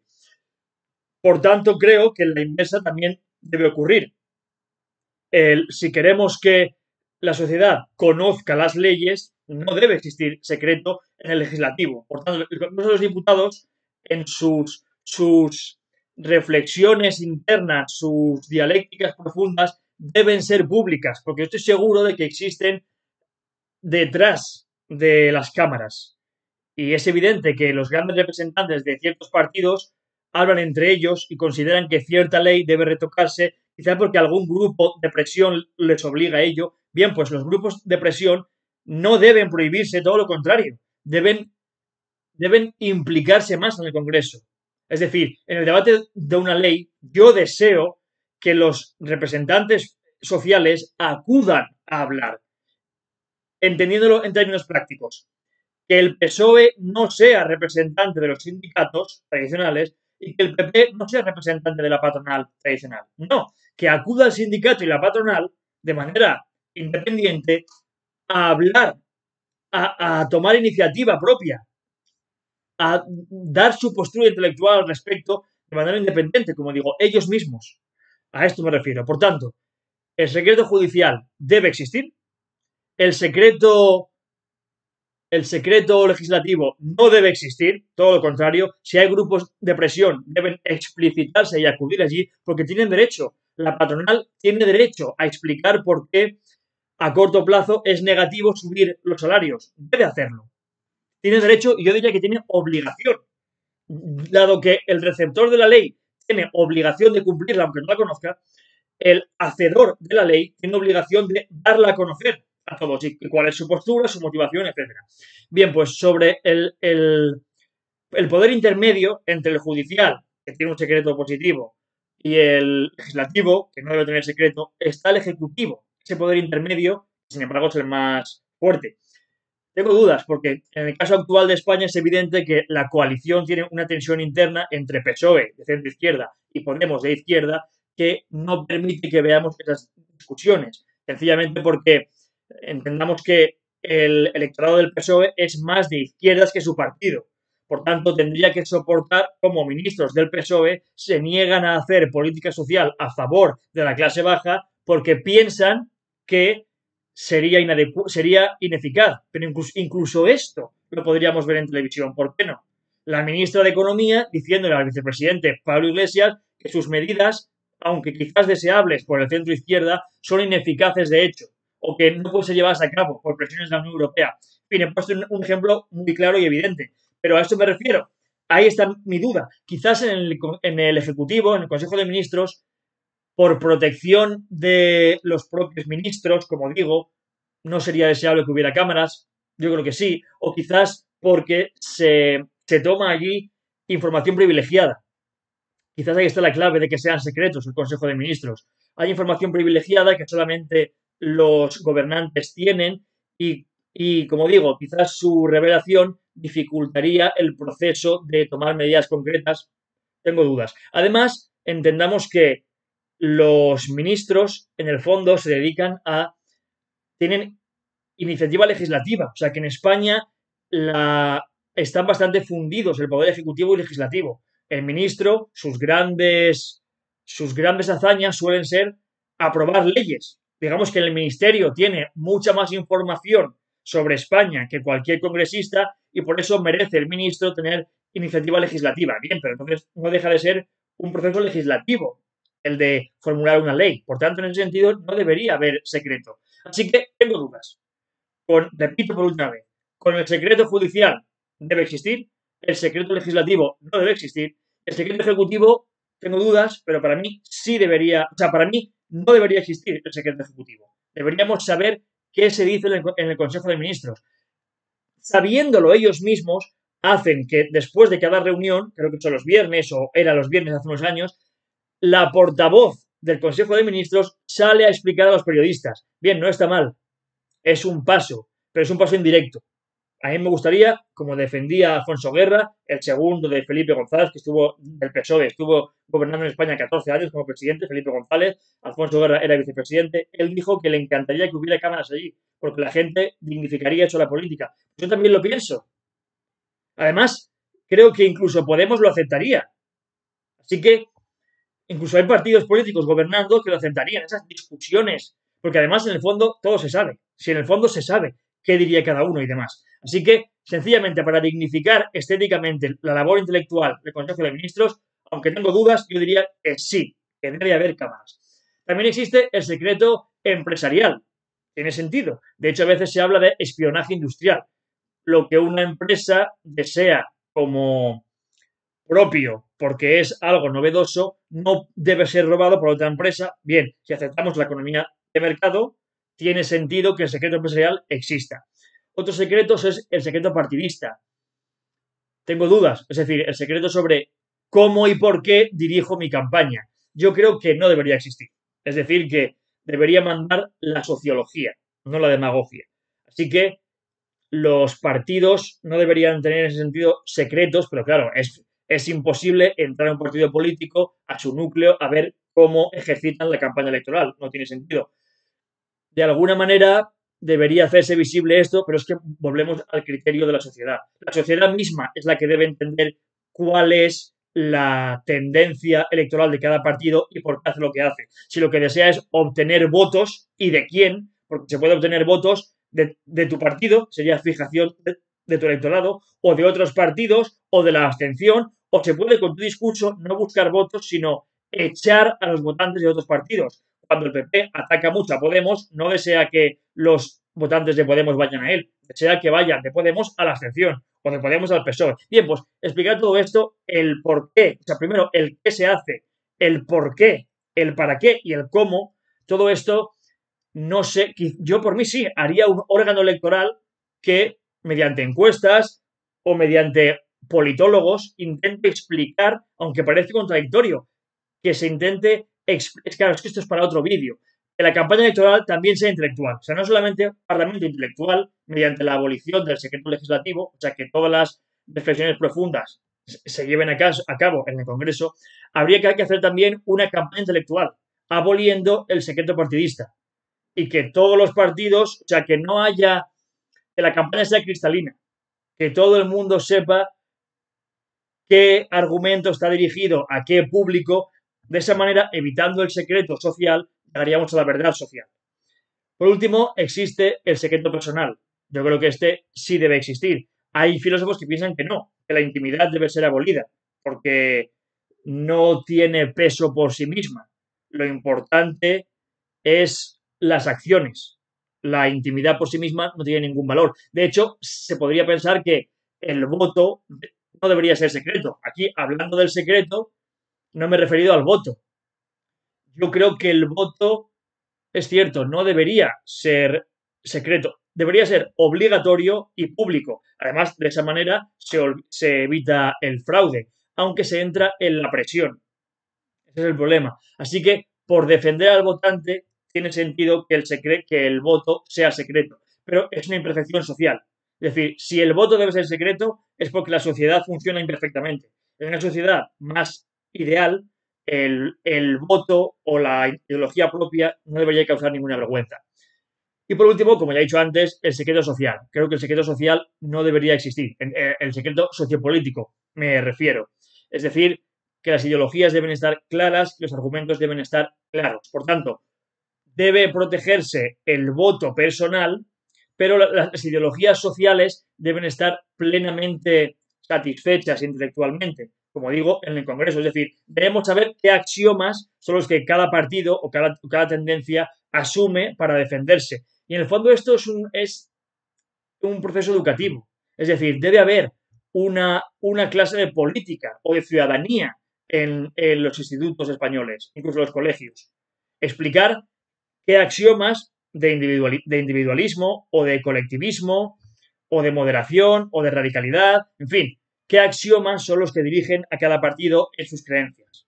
Así que, para mí, el secreto sociopolítico no debería existir, porque cualquier ideología, incluso los extremos, el anarquismo, el fascismo, tienen sus axiomas politológicos. Así que deberían estar explicados en un libro de texto por el Ministerio de, Educación. Mi, función es que, mi propuesta es que abolir ciertos secretos nos perfecciona como, como especie. Solamente he admitido el secreto personal, el secreto de Estado, el secreto judicial, el secreto empresarial y el secreto ejecutivo lo tengo en duda, aunque creo que sí debería abolirse. Y digo esto no respecto a mi ideología propia. Yo no estoy analizando como si fuese neutral, que intento serlo. Yo no estoy diciendo cuál es mi preferencia personal. Digo que estos secretos que yo deseo abolir, creo que todos los partidos políticos estarían de acuerdo. El secreto policial, por cierto, también debe mantenerse. Pero lo, que yo digo, creo que cualquier partido político lo podría aceptar, o sea que no es utópico. El siguiente apartado es el del agotamiento. Bien, después de abolir tantos secretos y tener todo claro, es decir, reducir la política a una ciencia social así de simple, podría haber un agotamiento intelectual, informativo, social. Me explico. un agotamiento intelectual porque si todas las posturas teóricas de todos ya han quedado claras, no se puede discutir más al respecto. Yo creo que esto es falso. Lo que ocurre en el fondo es que hay una sensibilidad política. Por tanto, la, la explicitización, ¿cómo se dice? Explicitar. Bien, el hecho de explicitar teóricamente todas las posturas de todos los partidos no supone un agotamiento de ellos. Supone como mucho un agotamiento intelectual. ¿Vale? De acuerdo, puede existir. Pero el agotamiento de sensibilidad nunca llegará. Así que la gente seguirá teniendo una sensibilidad de centro-izquierda, de centro, de centro-derecha, o de izquierda o de derecha. La sensibilidad persistirá, solo que intelectualizada mucho mejor. Por eso digo que solamente pretendo aumentar el nivel. Así que el supuesto agotamiento intelectual que esto, tendría, bueno, veremos más adelante que incluso ese agotamiento es O sea, claro, a lo que me refiero, perdón, perdón, lo que, lo que quiero decir es que el agotamiento intelectual nunca ocurrirá. O sea, no se llegará a la verdad política absoluta porque no es un tema exclusivamente intelectual, sino emocional o de sensación. Es decir, los axiomas de cada ideología son, como su palabra indica, indemostrables. Pertenecen a la sensibilidad política de cada persona. Lo que decía anteriormente, el individualismo, el colectivismo o la moderación o radicalidad de, estos conceptos, o el nacionalismo o el mundialismo, digamos que son axiomas de demostrabilidad discutida. Por tanto, creo que aplicar la lógica a todas las posturas ideológicas no, no las agotaría intelectualmente, sencillamente aumentaría el nivel. Y repito que no estoy dando mi ideología. Quizás yo piense que sí, que la verdad política existe y es, indiscutible, pero no estoy afirmando eso en este vídeo. Quizás en un vídeo futuro revelaré mi ideología. Por tanto, el agotamiento intelectual creo que no existe porque la tendencia política no es únicamente intelectual, sino que tiene un axioma emocional, que se debe, quién sabe si, a las vivencias o a la personalidad, en fin, difícil de, de reseñar. El agotamiento informativo, que es el segundo, creo que tampoco es posible, porque siempre existirá actualidad. Lo contrario sería el supuesto fin de la historia. En todo caso, incluso aunque se llegue a ese fin de la historia en el plano político, todavía quedaría el fin tecnológico. Mientras este no llegue, habría que legislar sobre las novedades tecnológicas. Y ahí está toda la bioética, que es un problema muy, filosófico. Por tanto, como digo, el agotamiento intelectual no ocurrirá porque la política tiene un axioma de sensibilidad. El agotamiento informativo, es decir, cuando, todo esté claro, ya no habrá más información que dar, creo que es falso, porque el fin de la historia es posible que no ocurra. Lo hemos visto con las corrientes recientes. Se pensaba que la historia, según los marxistas, se movía por conflictos económicos y hemos visto actualmente, o en el siglo XX y XXI, nuevos conflictos, el feminista, el de la transexualidad, conflictos raciales, que no tienen que ver exclusivamente con el plano socioeconómico, de izquierda, centro, derecha. Así que creo que el agotamiento informativo no llegará porque hay muchos planos sociales que todavía no se han resuelto y aunque llegase en el plano social, todavía queda el plano tecnológico, que evidentemente la ciencia no puede predecir su final, por lo menos hasta ahora. Siempre hay descubrimientos nuevos. Bien, pues, aunque solo fuese por eso, haría falta un congreso para delimitar la nueva legislación sobre esas tecnologías nuevas. En fin, creo que ha quedado claro. Y por último, el agotamiento social. El agotamiento social tampoco es posible. Eso sería el fin de la historia electoral, que nadie nunca cambiará el voto. Es decir, que una vez mi, parlamentarismo intelectual se haya establecido, habría un agotamiento social. Quiero decir que los bloques ya se moverían. Cada, eh, cuando esté perfectamente, de manera lúcida, explicada cada ideología, pues cada ciudadano se someterá a ella o se adscribirá a ella y nunca más cambiará. Creo que esto tampoco es posible, creo que esto tampoco es verdad. Primero, un individuo puede sufrir una evolución interna en su ideología, aunque las conozca, porque, como repito anteriormente, no es únicamente intelectual, sino que hay un plano de sensibilidad y la sensibilidad del individuo puede cambiar.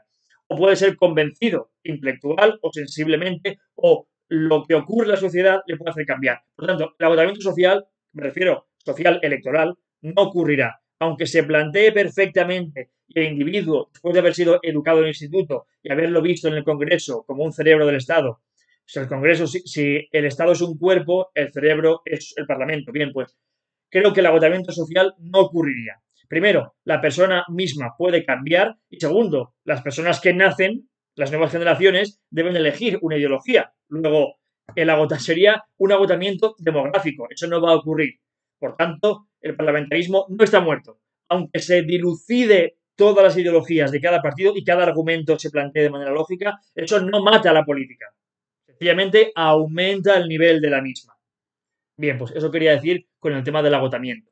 Además, demografía incluye la mortalidad y la natalidad. Son dos extremos, gente que ya no participa de la política porque muere y gente que participa nueva porque nace. Así que el agotamiento social electoral no ocurre nunca en política, a no ser que se llegue, como digo, al fin de la historia, en la cual el Parlamento no sería innecesario, salvo un Parlamento tecnológico para, para decidir las leyes sobre tecnologías nuevas. En fin, queda claro. El siguiente apartado es la reciprocidad, que ya he avanzado anteriormente. Como he defendido en todo el vídeo, el criterio humano es insalvable, porque el Estado es una jerarquía humana algún creyente religioso puede decir que hay una jerarquía superior a la humana que es la, la divina. Entonces el criterio último sería Dios y la jerarquía eclesiástica representando a Dios. Pero en el caso político, ahora que es el, el laicismo es mayoritario en el mundo, el criterio humano en política es insalvable porque hay porque el Estado es una jerarquía humana. Incluso se piensa que el criterio científico puede ser también eh, humano y no objetivo. En fin, no entraremos ahora. Pero el, político, en fin, hay dudas. Quizá la política se pueda en algún momento reducir a ciencia. O sea, en vez de política, hacer politología.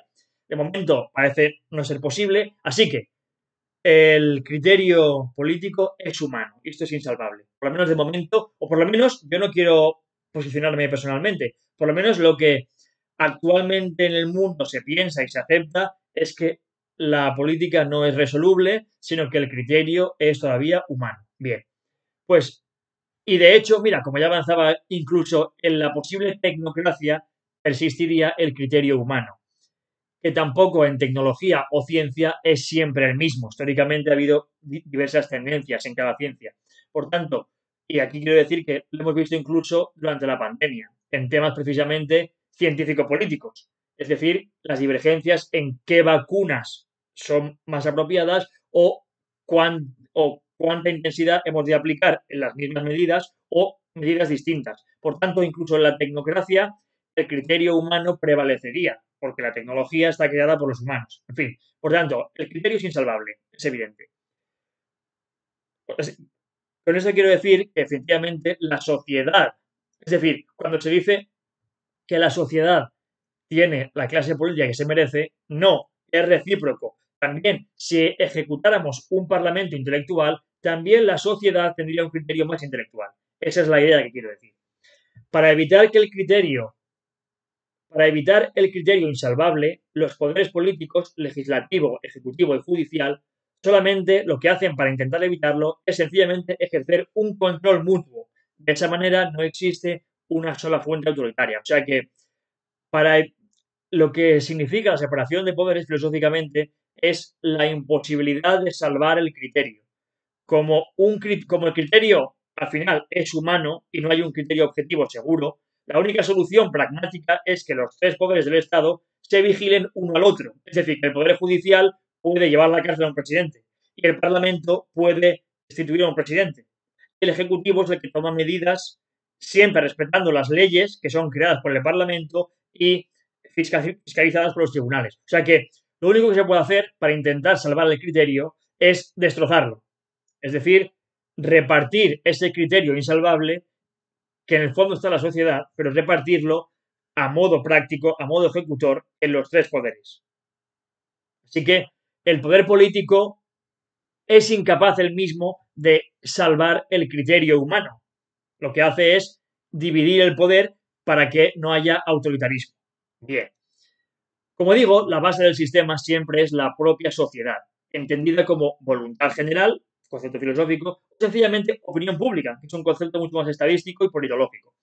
En una democracia indirecta, elige al Parlamento e indirectamente al gobierno, evidentemente, y más indirectamente a la cúpula judicial, porque el Parlamento elige a cierta parte de esa cúpula.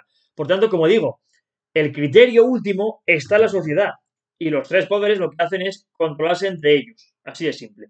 No obstante, y esta es la novedad que quiero aportar, hay una relación entre los poderes y la sociedad que es de reciprocidad. Es decir, ambas tienen autonomía para influenciar a la otra. No solamente tenemos los políticos que nos merecemos, no, sino que los políticos tienen los votantes que se merecen. Por tanto, aumentando el nivel intelectual de las instituciones, se aumenta el de la población. Sería un ejemplo virtuoso.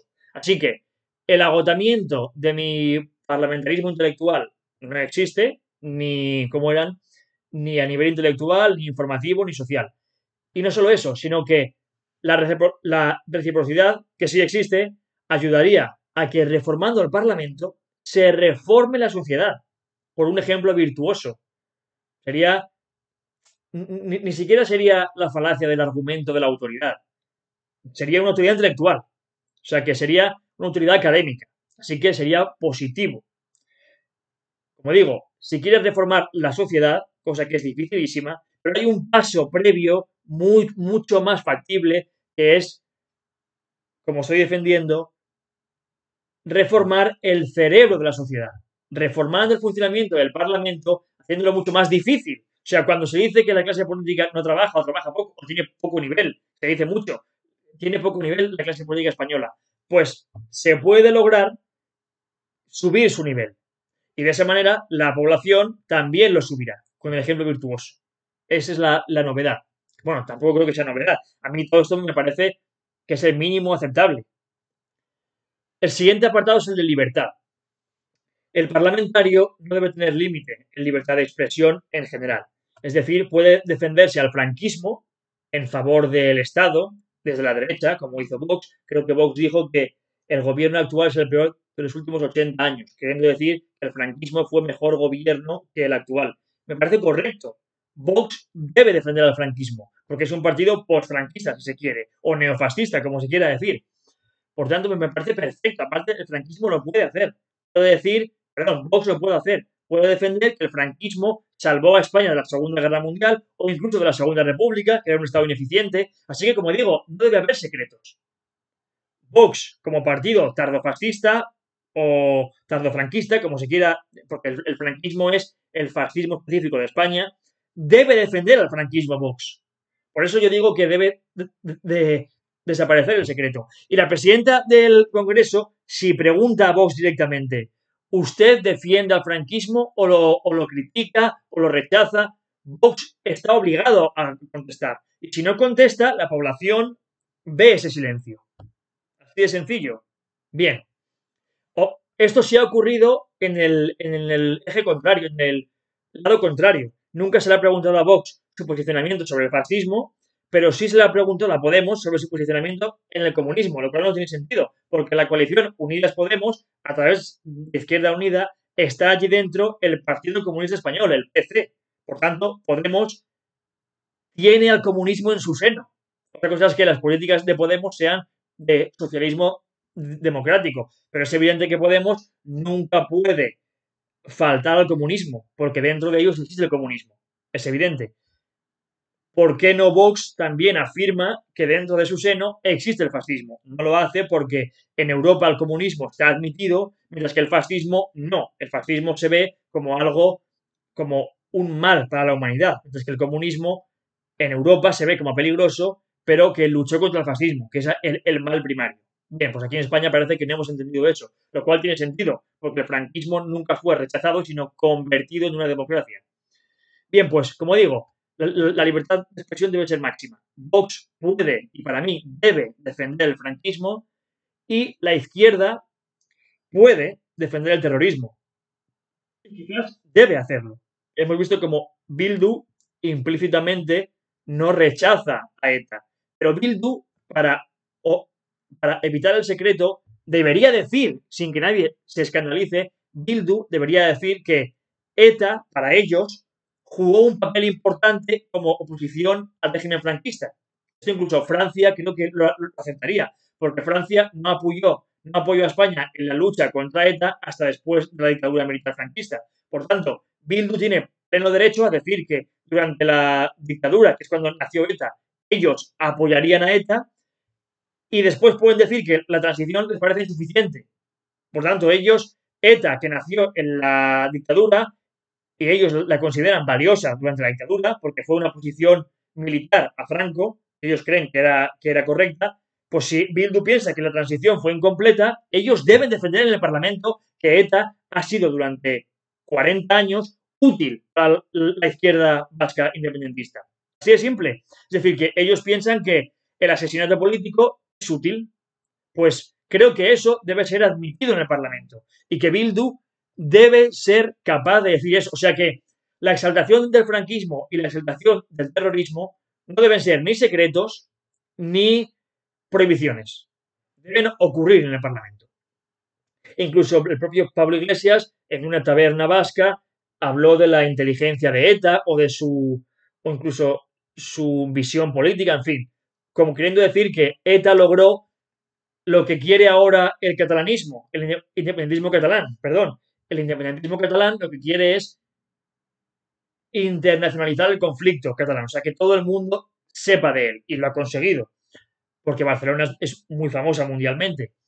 Bien, pues ETA consiguió quizás internacionalizar el conflicto vasco a todo el mundo, quizás fijándose en Irlanda, donde el IRA también logró eso y al final se convirtió en partido político, o en Colombia, como también ha ocurrido con las FARC, si no recuerdo mal. Bien, pues, o con otro grupo terrorista que se ha convertido en político. Bien, pues, ya digo, con toda naturalidad, Vox debe defender al franquismo, Bildu debe defender a ETA en el Parlamento. Bueno, defender Bildu ya no defiende a ETA. Y de hecho, la mayoría de, gente de Bildu siempre ha afirmado que ETA debería, convertirse en algo político, nunca terrorista. En fin.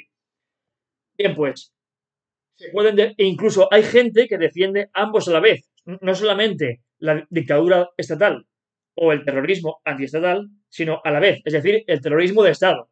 Y se ha visto.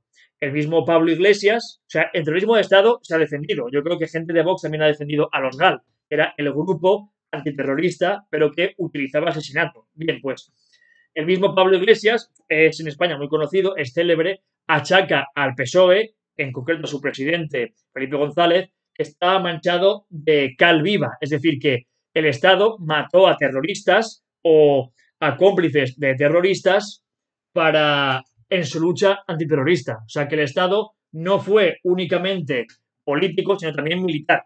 O sea, el Estado hizo terrorismo contra ETA. No debería ocurrir. Al terrorismo se le gana con democracia, con, con términos policiales, no con más terrorismo. Bien, pues también el PSOE, que se indignó ante aquello, el PSOE debe decir en el Congreso que sí, que están orgullosos del terrorismo de Estado que hizo el GAL con Felipe González. No pasa nada. Para mí, yo sí daría una libertad total de expresión a, los congresistas para evitar el secreto. Bien, creo que, y además, esta libertad, esta libertad quizás tenga un límite que es sencillamente el derecho al honor.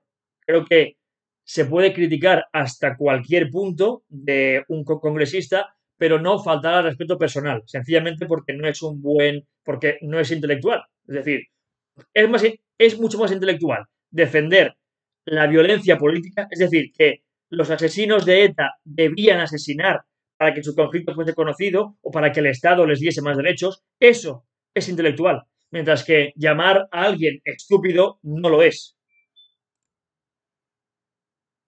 Bien, como digo, la libertad de expresión está garantizada, la libertad de insulto no. Se puede insultar si se quiere las ideas del contrario, pero nunca a él mismo. Es la falacia del hombre de paja. Eh, confundir la credibilidad de los argumentos con la credibilidad del argumentador. Eso sencillamente es que no tiene sentido.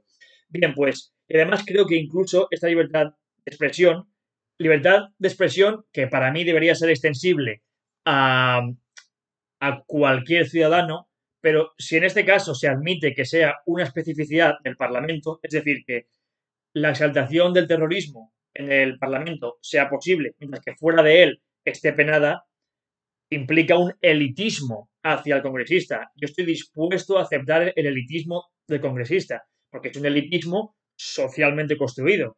La población ha votado a ese político, por tanto, ningún problema. Porque incluso admito el elitismo judicial, actualmente ya existe. O sea, estoy defendiendo un elitismo eh, politológico o, si se quiere, jurídico de la libertad de expresión máxima del congresista, basándome en que ya existe un elitismo judicial y es que los altos tribunales son los que juzgan a los congresistas. Eso me parece correcto, que sean los altos, porque para que no se vean envueltos, es decir, para que tengan una mayor protección, para que no se pueda atacar de manera casi mafiosa a un congresista mediante denuncias constantes de partidos políticos o de instituciones sociales que estén en contra de él y que perjudiquen su labor social o intelectual en el Parlamento. Es decir, que un parlamentario, para que no deba estar acudiendo a los juzgados constantemente porque alguien desde fuera le haga una guerra jurídica, me parece bien que tenga ese elitismo acudir solamente al Tribunal Superior. Porque, repito, es un elitismo socialmente construido. Y de nuevo estoy dando mi opinión, pero de manera neutral. O sea, probablemente, no quiero adelantar nada, pero mi opinión al respecto no es esta. Sencillamente estoy ofreciendo el sentido común general de la población española para ganarme su atención y, lograr el parlamentarismo intelectual. O sea, yo en mi, en mi ideología propia, que no estoy revelando ni quiero revelar, es posible que ni siquiera crea en el parlamentarismo intelectual, que yo crea en otra cosa. Pero creo que esta es, como decía al principio, una cuestión práctica que sí podría llevarse a cabo. El siguiente concepto es la responsabilidad. Creo que el presidente del Congreso debería obligar a responder, como ya he dicho antes, a los, a los parlamentarios. Es decir, que teniendo una libertad plena, que está garantizada para expresar lo que quieran, debe acompañarse con una responsabilidad plena. Pero en este caso, el criterio último sí que reside en la sociedad, como he dicho antes. Es decir, el presidente del Congreso puede rectificarles un dato mal con la corrección de datos, o puede obligar a responder tantas veces como sea necesario. Y en caso de negativa, para respetar la libertad anterior, lo que haría la mesa del Congreso es una multa, un sistema de puntos o quizá incluso un sistema económico. Es decir, por supuesto, el que no acuda a trabajar al Congreso recibe una multa y se le extrae de su sueldo, algo que esté en baja por algún motivo.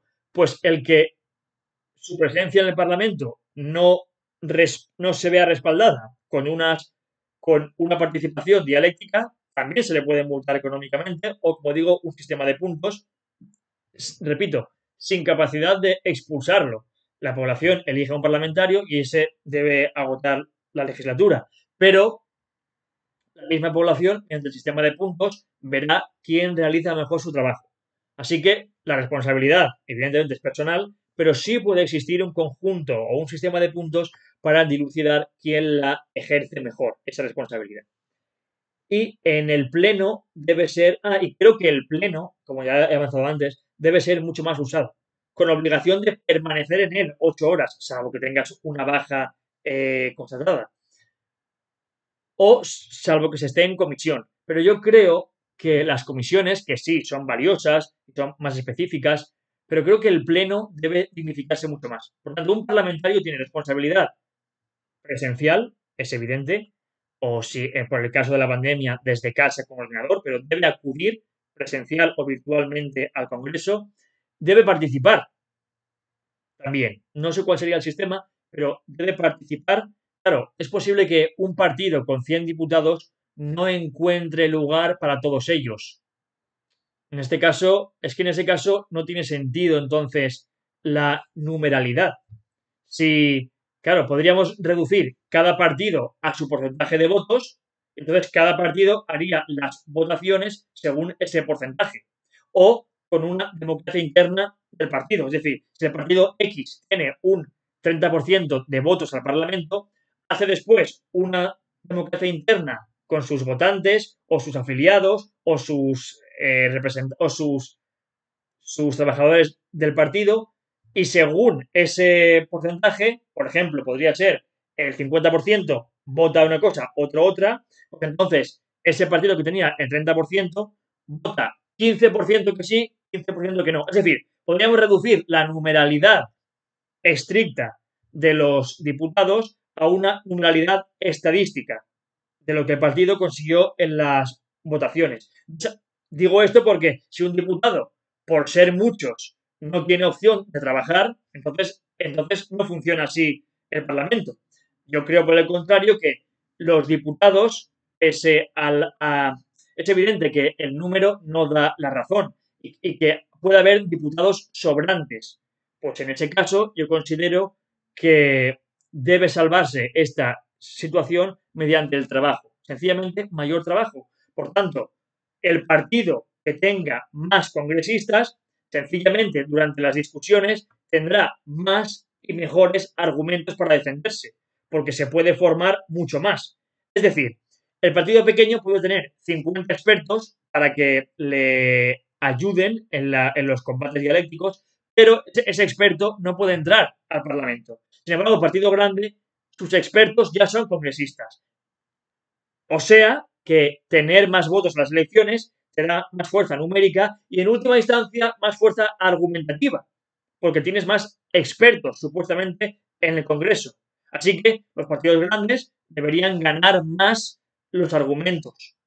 Así que la democracia indirecta en este caso sí funcionaría.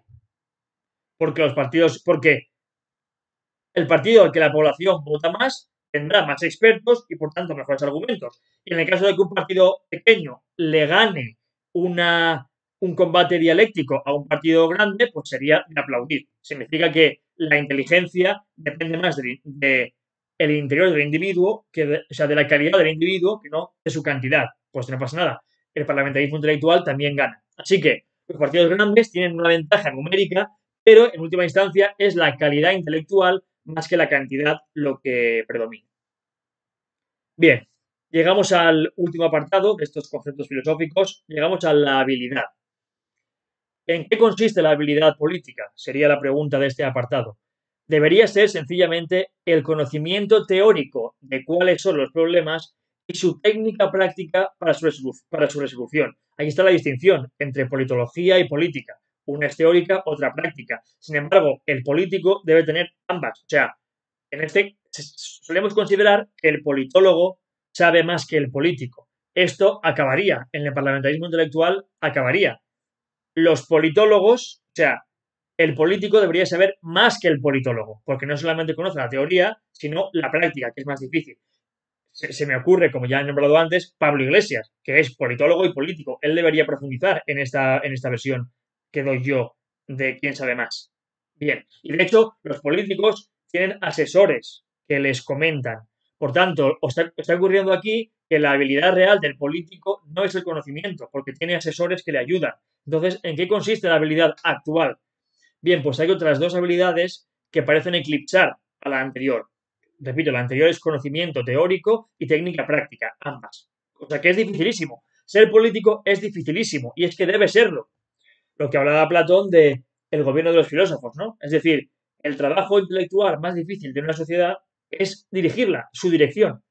Pues es lo que yo deseo, que sea difícil ser político.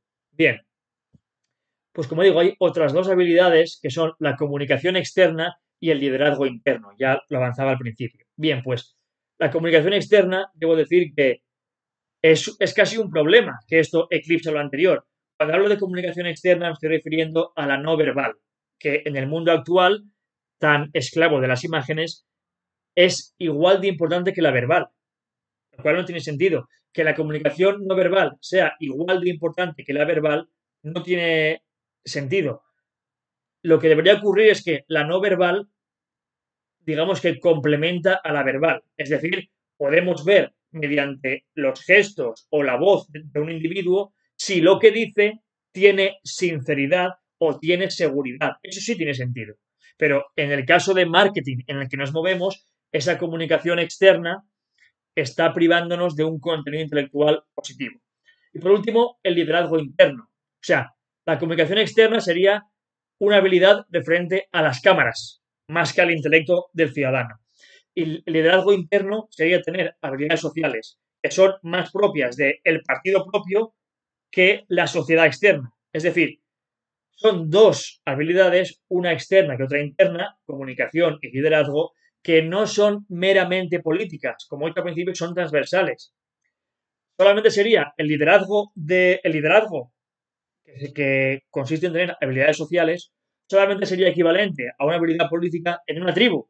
Una tribu de 50 o 300 personas, sí, el liderazgo interno de la sociedad equivale a hacer política, porque tú puedes dirigir mediante un liderazgo personal a todo el pueblo. Sin embargo, en España que hay casi 50 millones de españoles, ese liderazgo interno solamente se ve en tu partido propio y, de hecho, en la élite de ese partido.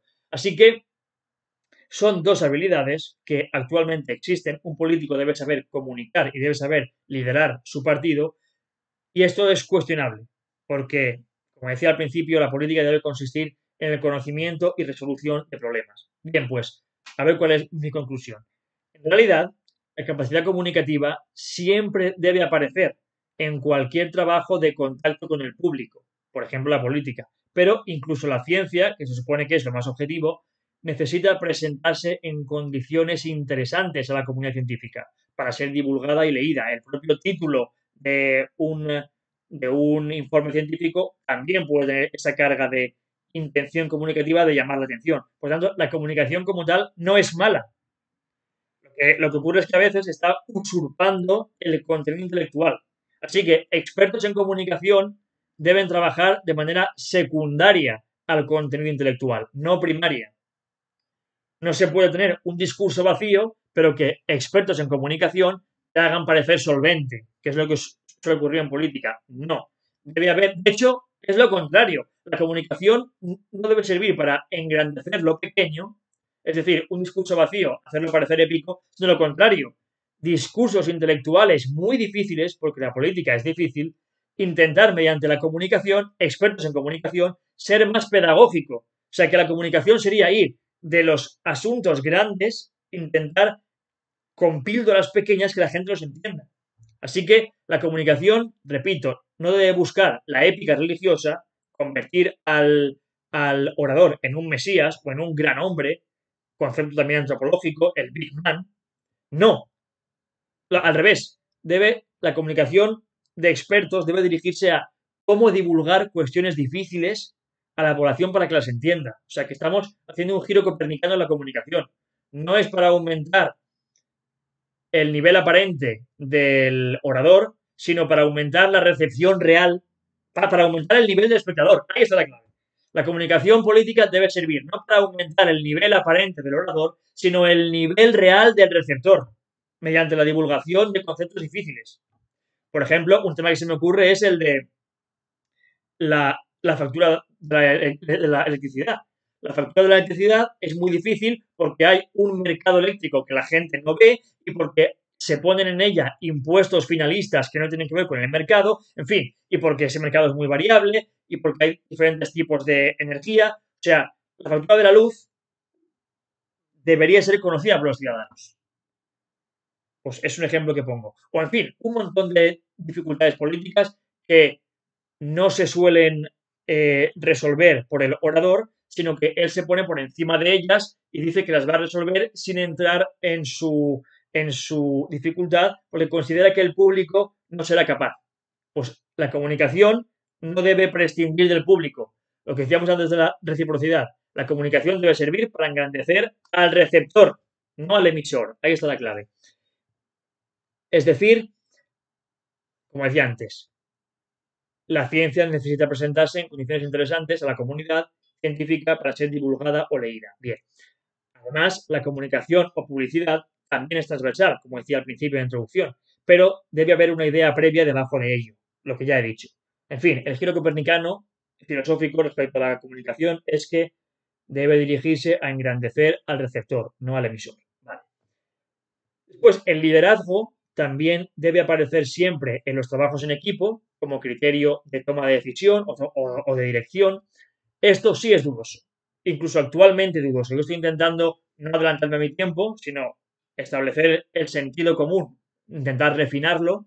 No estoy dando mi ideología personal, pero quiero dar aquí tres, tres posibilidades que van en contra de esta supuesta idea de que el liderazgo es insalvable.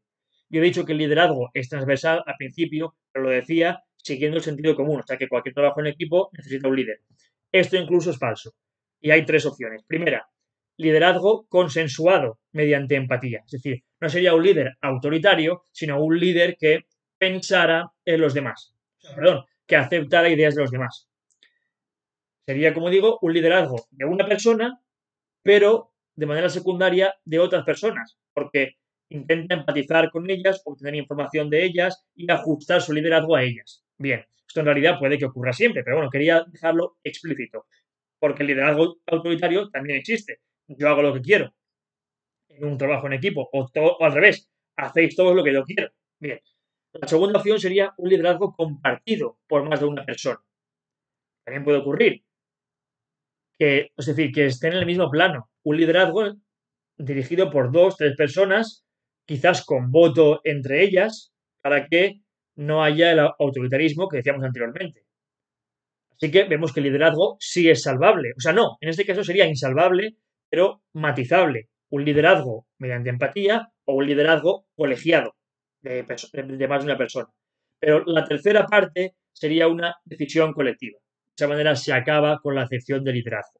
Es decir, podríamos llamarlo liderazgo colectivo, pero carece de sentido. Bueno, es una, es una terrible discusión semántica sin sentido. Si se quiere llamar liderazgo colectivo, sería que la sociedad es su propio líder. En fin, digamos que yo prefiero decir que la acepción de liderazgo desaparece. Sería una decisión colectiva. Y esto ya ocurre, el colectivismo en economía, la democracia directa en política. Así que la comunicación como principal virtud de un político no tiene sentido o es falaz, porque la comunicación debe mejorar al receptor, no al emisor. Y después, el liderazgo como virtud del político tiene un sentido dudoso, porque si los partidos funcionasen por decisión colectiva, no haría falta líder. Esto es algo que Podemos, partido que está en el gobierno, intentó hacer con los círculos de Podemos, que recordaban a los soviets de Rusia, e incluso la CUP, Partido Catalán Anticapitalista, digamos que sí lo consigue. En la CUP se supone que no hay liderazgo, sino que la Asamblea lo vota todo e incluso sus parlamentarios, después de agotar una legislatura, desaparecen y no pueden volver a presentarse. Así que esta disolución del liderazgo como decisión colectiva también es posible. Como conclusión, ni la comunicación ni el liderazgo, comunicación externa, liderazgo interna, comunicación externa para el público liderazgo interno para el partido, digamos que son las virtudes necesarias para escalar en, dentro de un, de un partido, no son las convenientes. Lo conveniente es sencillamente el conocimiento teórico y la sabiduría práctica para solucionar los problemas. Solamente lo quería dejar ahí, esta reflexión de que la habilidad política actual no es la correcta. Y quizás para mejorar esto, se debería reformar la sociedad en su conjunto, lo cual es muy difícil, pero el comenzamiento, el, comienzo de esto es reformar el Parlamento para hacerlo intelectual. De esa manera, primero, haciendo esto, el Parlamento intelectual, la sociedad cambiará y por tanto las habilidades requeridas para, para medrar en política también cambiarán. Así que, eh, digamos que si consideramos el Parlamento como el cerebro de la sociedad, el cambio debe empezar en el cerebro. Esto que dice el, el coaching falaz, o bueno, yo sí creo que el coaching debe ser psicología científica, pero el coaching, digamos, intrusista, el coaching no psicológico, que de manera superficial dice, el cambio empieza en ti, olvidando las, las circunstancias, pues en este caso es cierto, el cambio empieza en ti, pero como sociedad. O sea, estoy incluyendo las circunstancias. Esa es mi diferencia con el coaching. Aunque yo el coaching lo defiendo, digamos, con el coaching de bajo nivel, esa es mi diferencia. Lo que decía Ortega, ¿no? El, hombre es él y sus circunstancias, creo que fue él. Por tanto, la H famosa. Por tanto, para que la sociedad cambie, debe cambiar primero ella misma, pero es que ella misma es su cerebro, es decir, el Parlamento. Hay una, por supuesto, la, sociedad en su conjunto no puede cambiar porque es dificilísimo, porque no se puede, no existe como punto geográfico y temporal la sociedad, sino que está diluida. Sin embargo, el Parlamento es lo más cercano que tenemos. Es, repito, el cerebro de la sociedad. Por tanto, cambiando el Parlamento, lo que estoy diciendo es que la revolución será parlamentaria. Es lo que estoy diciendo. Aunque no es mi idea, es sencillamente, no es mi idea personal, o quizás sí. Yo no estoy revelando mi ideología, repito por enésima vez. Lo que digo es que es posible que la revolución sea institucional, parlamentaria, formal, es posible. Sería una revolución centrista, si se quiere. O sea, es o de centro o independiente al eje. Tengo mis dudas. Pero en todo caso, creo que sí sería revolucionario. Llegamos al último apartado, que es la jefatura de Estado, y volvemos al tema de alto periodismo. Bien, yo creo que el jefe del Estado, primero, creo que lo más fácil sería que diese entrevistas anuales. Creo que esto se podría incluso legislar, aunque es cierto que no ocurre en ningún país. Yo creo que las monarquías europeas, la japonesa, no las árabes tampoco, evidentemente, no ocurre esto, que el jefe de Estado obligatoriamente deba hacer una entrevista en televisión. Creo que mejoraría su imagen. O sea, si se hace bien, quizás la monarquía no quiere hacerlo porque cree que es incapaz de hacerlo bien, o sea, que perjudicaría su imagen. Es decir, que el rey de España actual, Felipe VI, sería incapaz de responder con profundidad a preguntas incisivas sobre la política estatal que le hagan los periodistas. Bien, pues creo que el jefe de Estado debería, como mínimo, porque entendamos que en España el jefe de Estado da un discurso de cinco minutos cada año en la época de Navidad, donde eh, habla del estado de la nación, aproximadamente, de una manera, digamos, superficial, haciendo brindis al sol. esta, esta expresión siempre me ha encantado. Viva el sol, no tiene sentido porque el sol es, es invariable, la humanidad no puede variar el sol. Bueno, pues lo que suele hacer el jefe de Estado en España es decir vive la democracia liberal, lo cual es invariable. Ningún partido defiende su eliminación. Así que es un brindis, no es un sol, no es un sol científico que es incapaz de alterarlo la humanidad, pero sí que es un sol social, porque el consenso es tan grande que la democracia liberal no puede cambiarse. Quizás exceptuando a Vox. Vox sí querría cambiar esa democracia liberal, incluso Podemos también querría hacerlo, hacia una democracia más participativa, quizá incluso socialista, pero bueno, creo que Vox es un peligro mucho mayor a Podemos, no peligro, es una potencia mucho mayor Vox en cuanto a cambiar esa democracia liberal. Pero bien, digamos que eh, la jefatura del Estado, la, monarquía española no lo hace por eso, lo hace sencillamente por dar un discurso vacío. Bien, pues yo lo que deseo es que la monarquía acuda a una entrevista televisiva, no solamente aparezca en televisión, y si esto no es posible, algo todavía más profundo. Creo que el jefe del Estado debería acudir al debate del Estado de la Nación.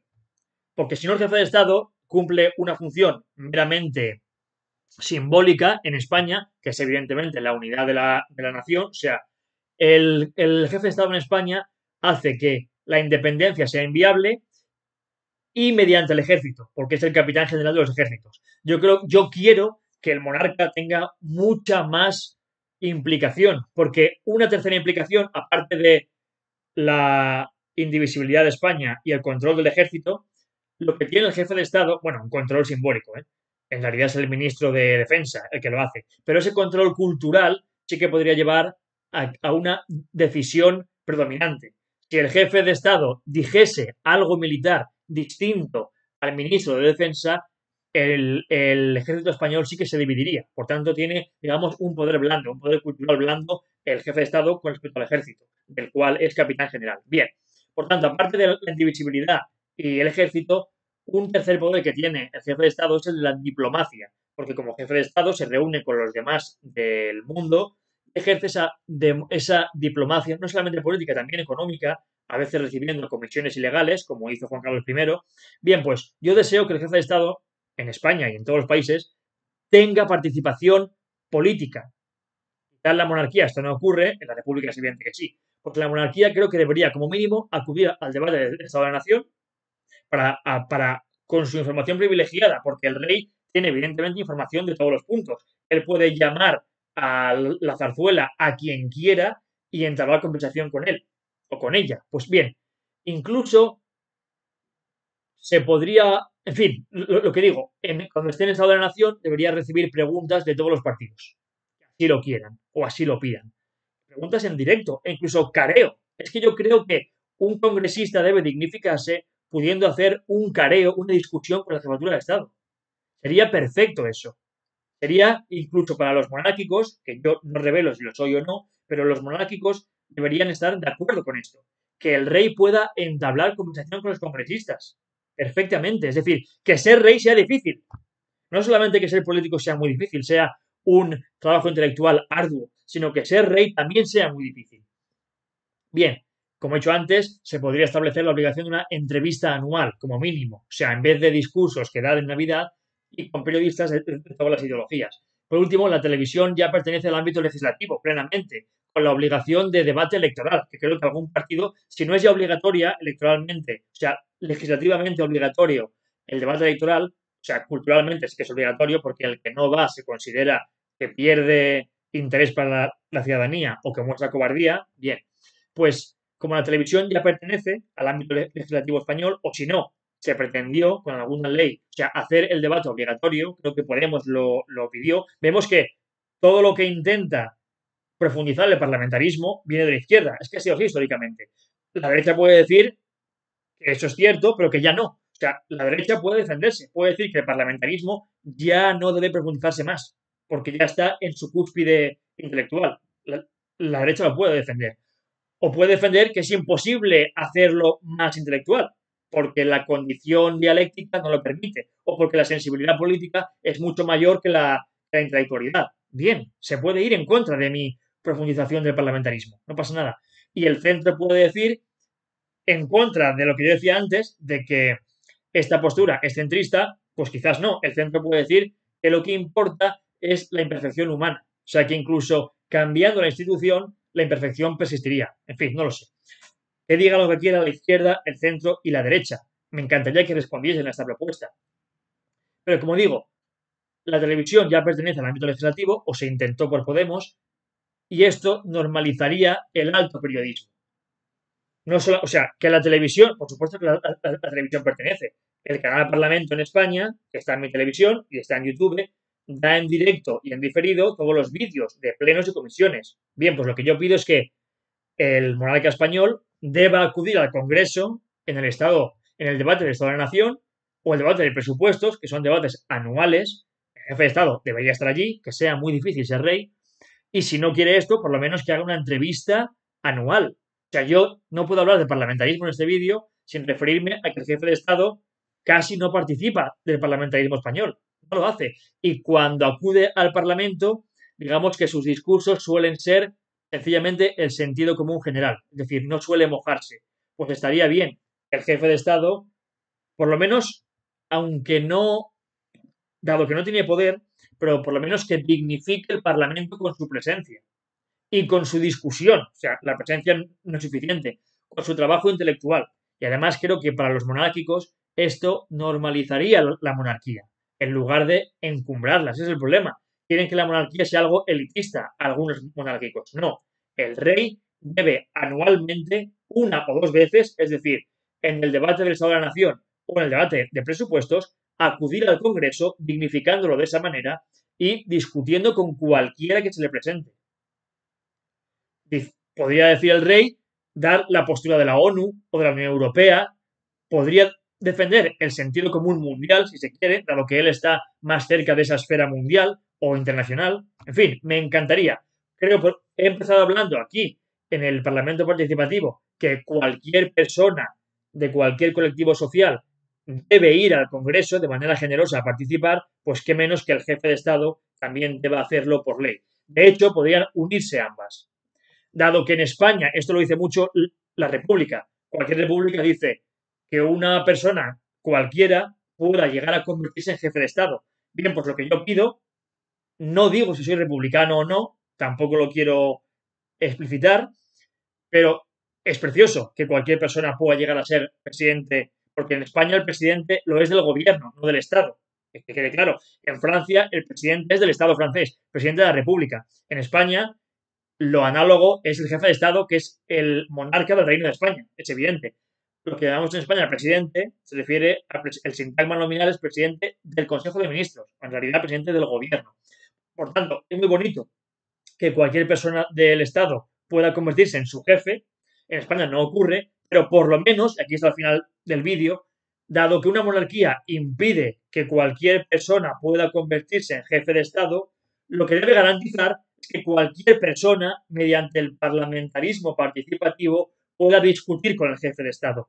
Y si un ciudadano cualquiera es más inteligente que el jefe de Estado, o no inteligencia, o, tiene mejores argumentos, o tiene mejor sensibilidad, o tiene mejores ideas para aplicar a la sociedad, que le pueda vencer. Así que, si la monarquía parlamentaria debe ser reconocida, permitirá que el jefe de Estado deba discutir en el Parlamento con cualquier representante de un colectivo social. Bienvenidos a la monarquía española 2.0. Eso es lo que yo pido. El parlamentarismo español debe llegar hasta el punto, bueno, hemos hablado de que se permitan todas las lenguas de España en el Parlamento.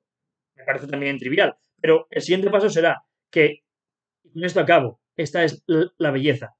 Si un ciudadano no puede ser jefe de Estado, por lo menos que un ciudadano pueda discutir con el jefe de Estado. Eso es el parlamentarismo intelectual que España merece.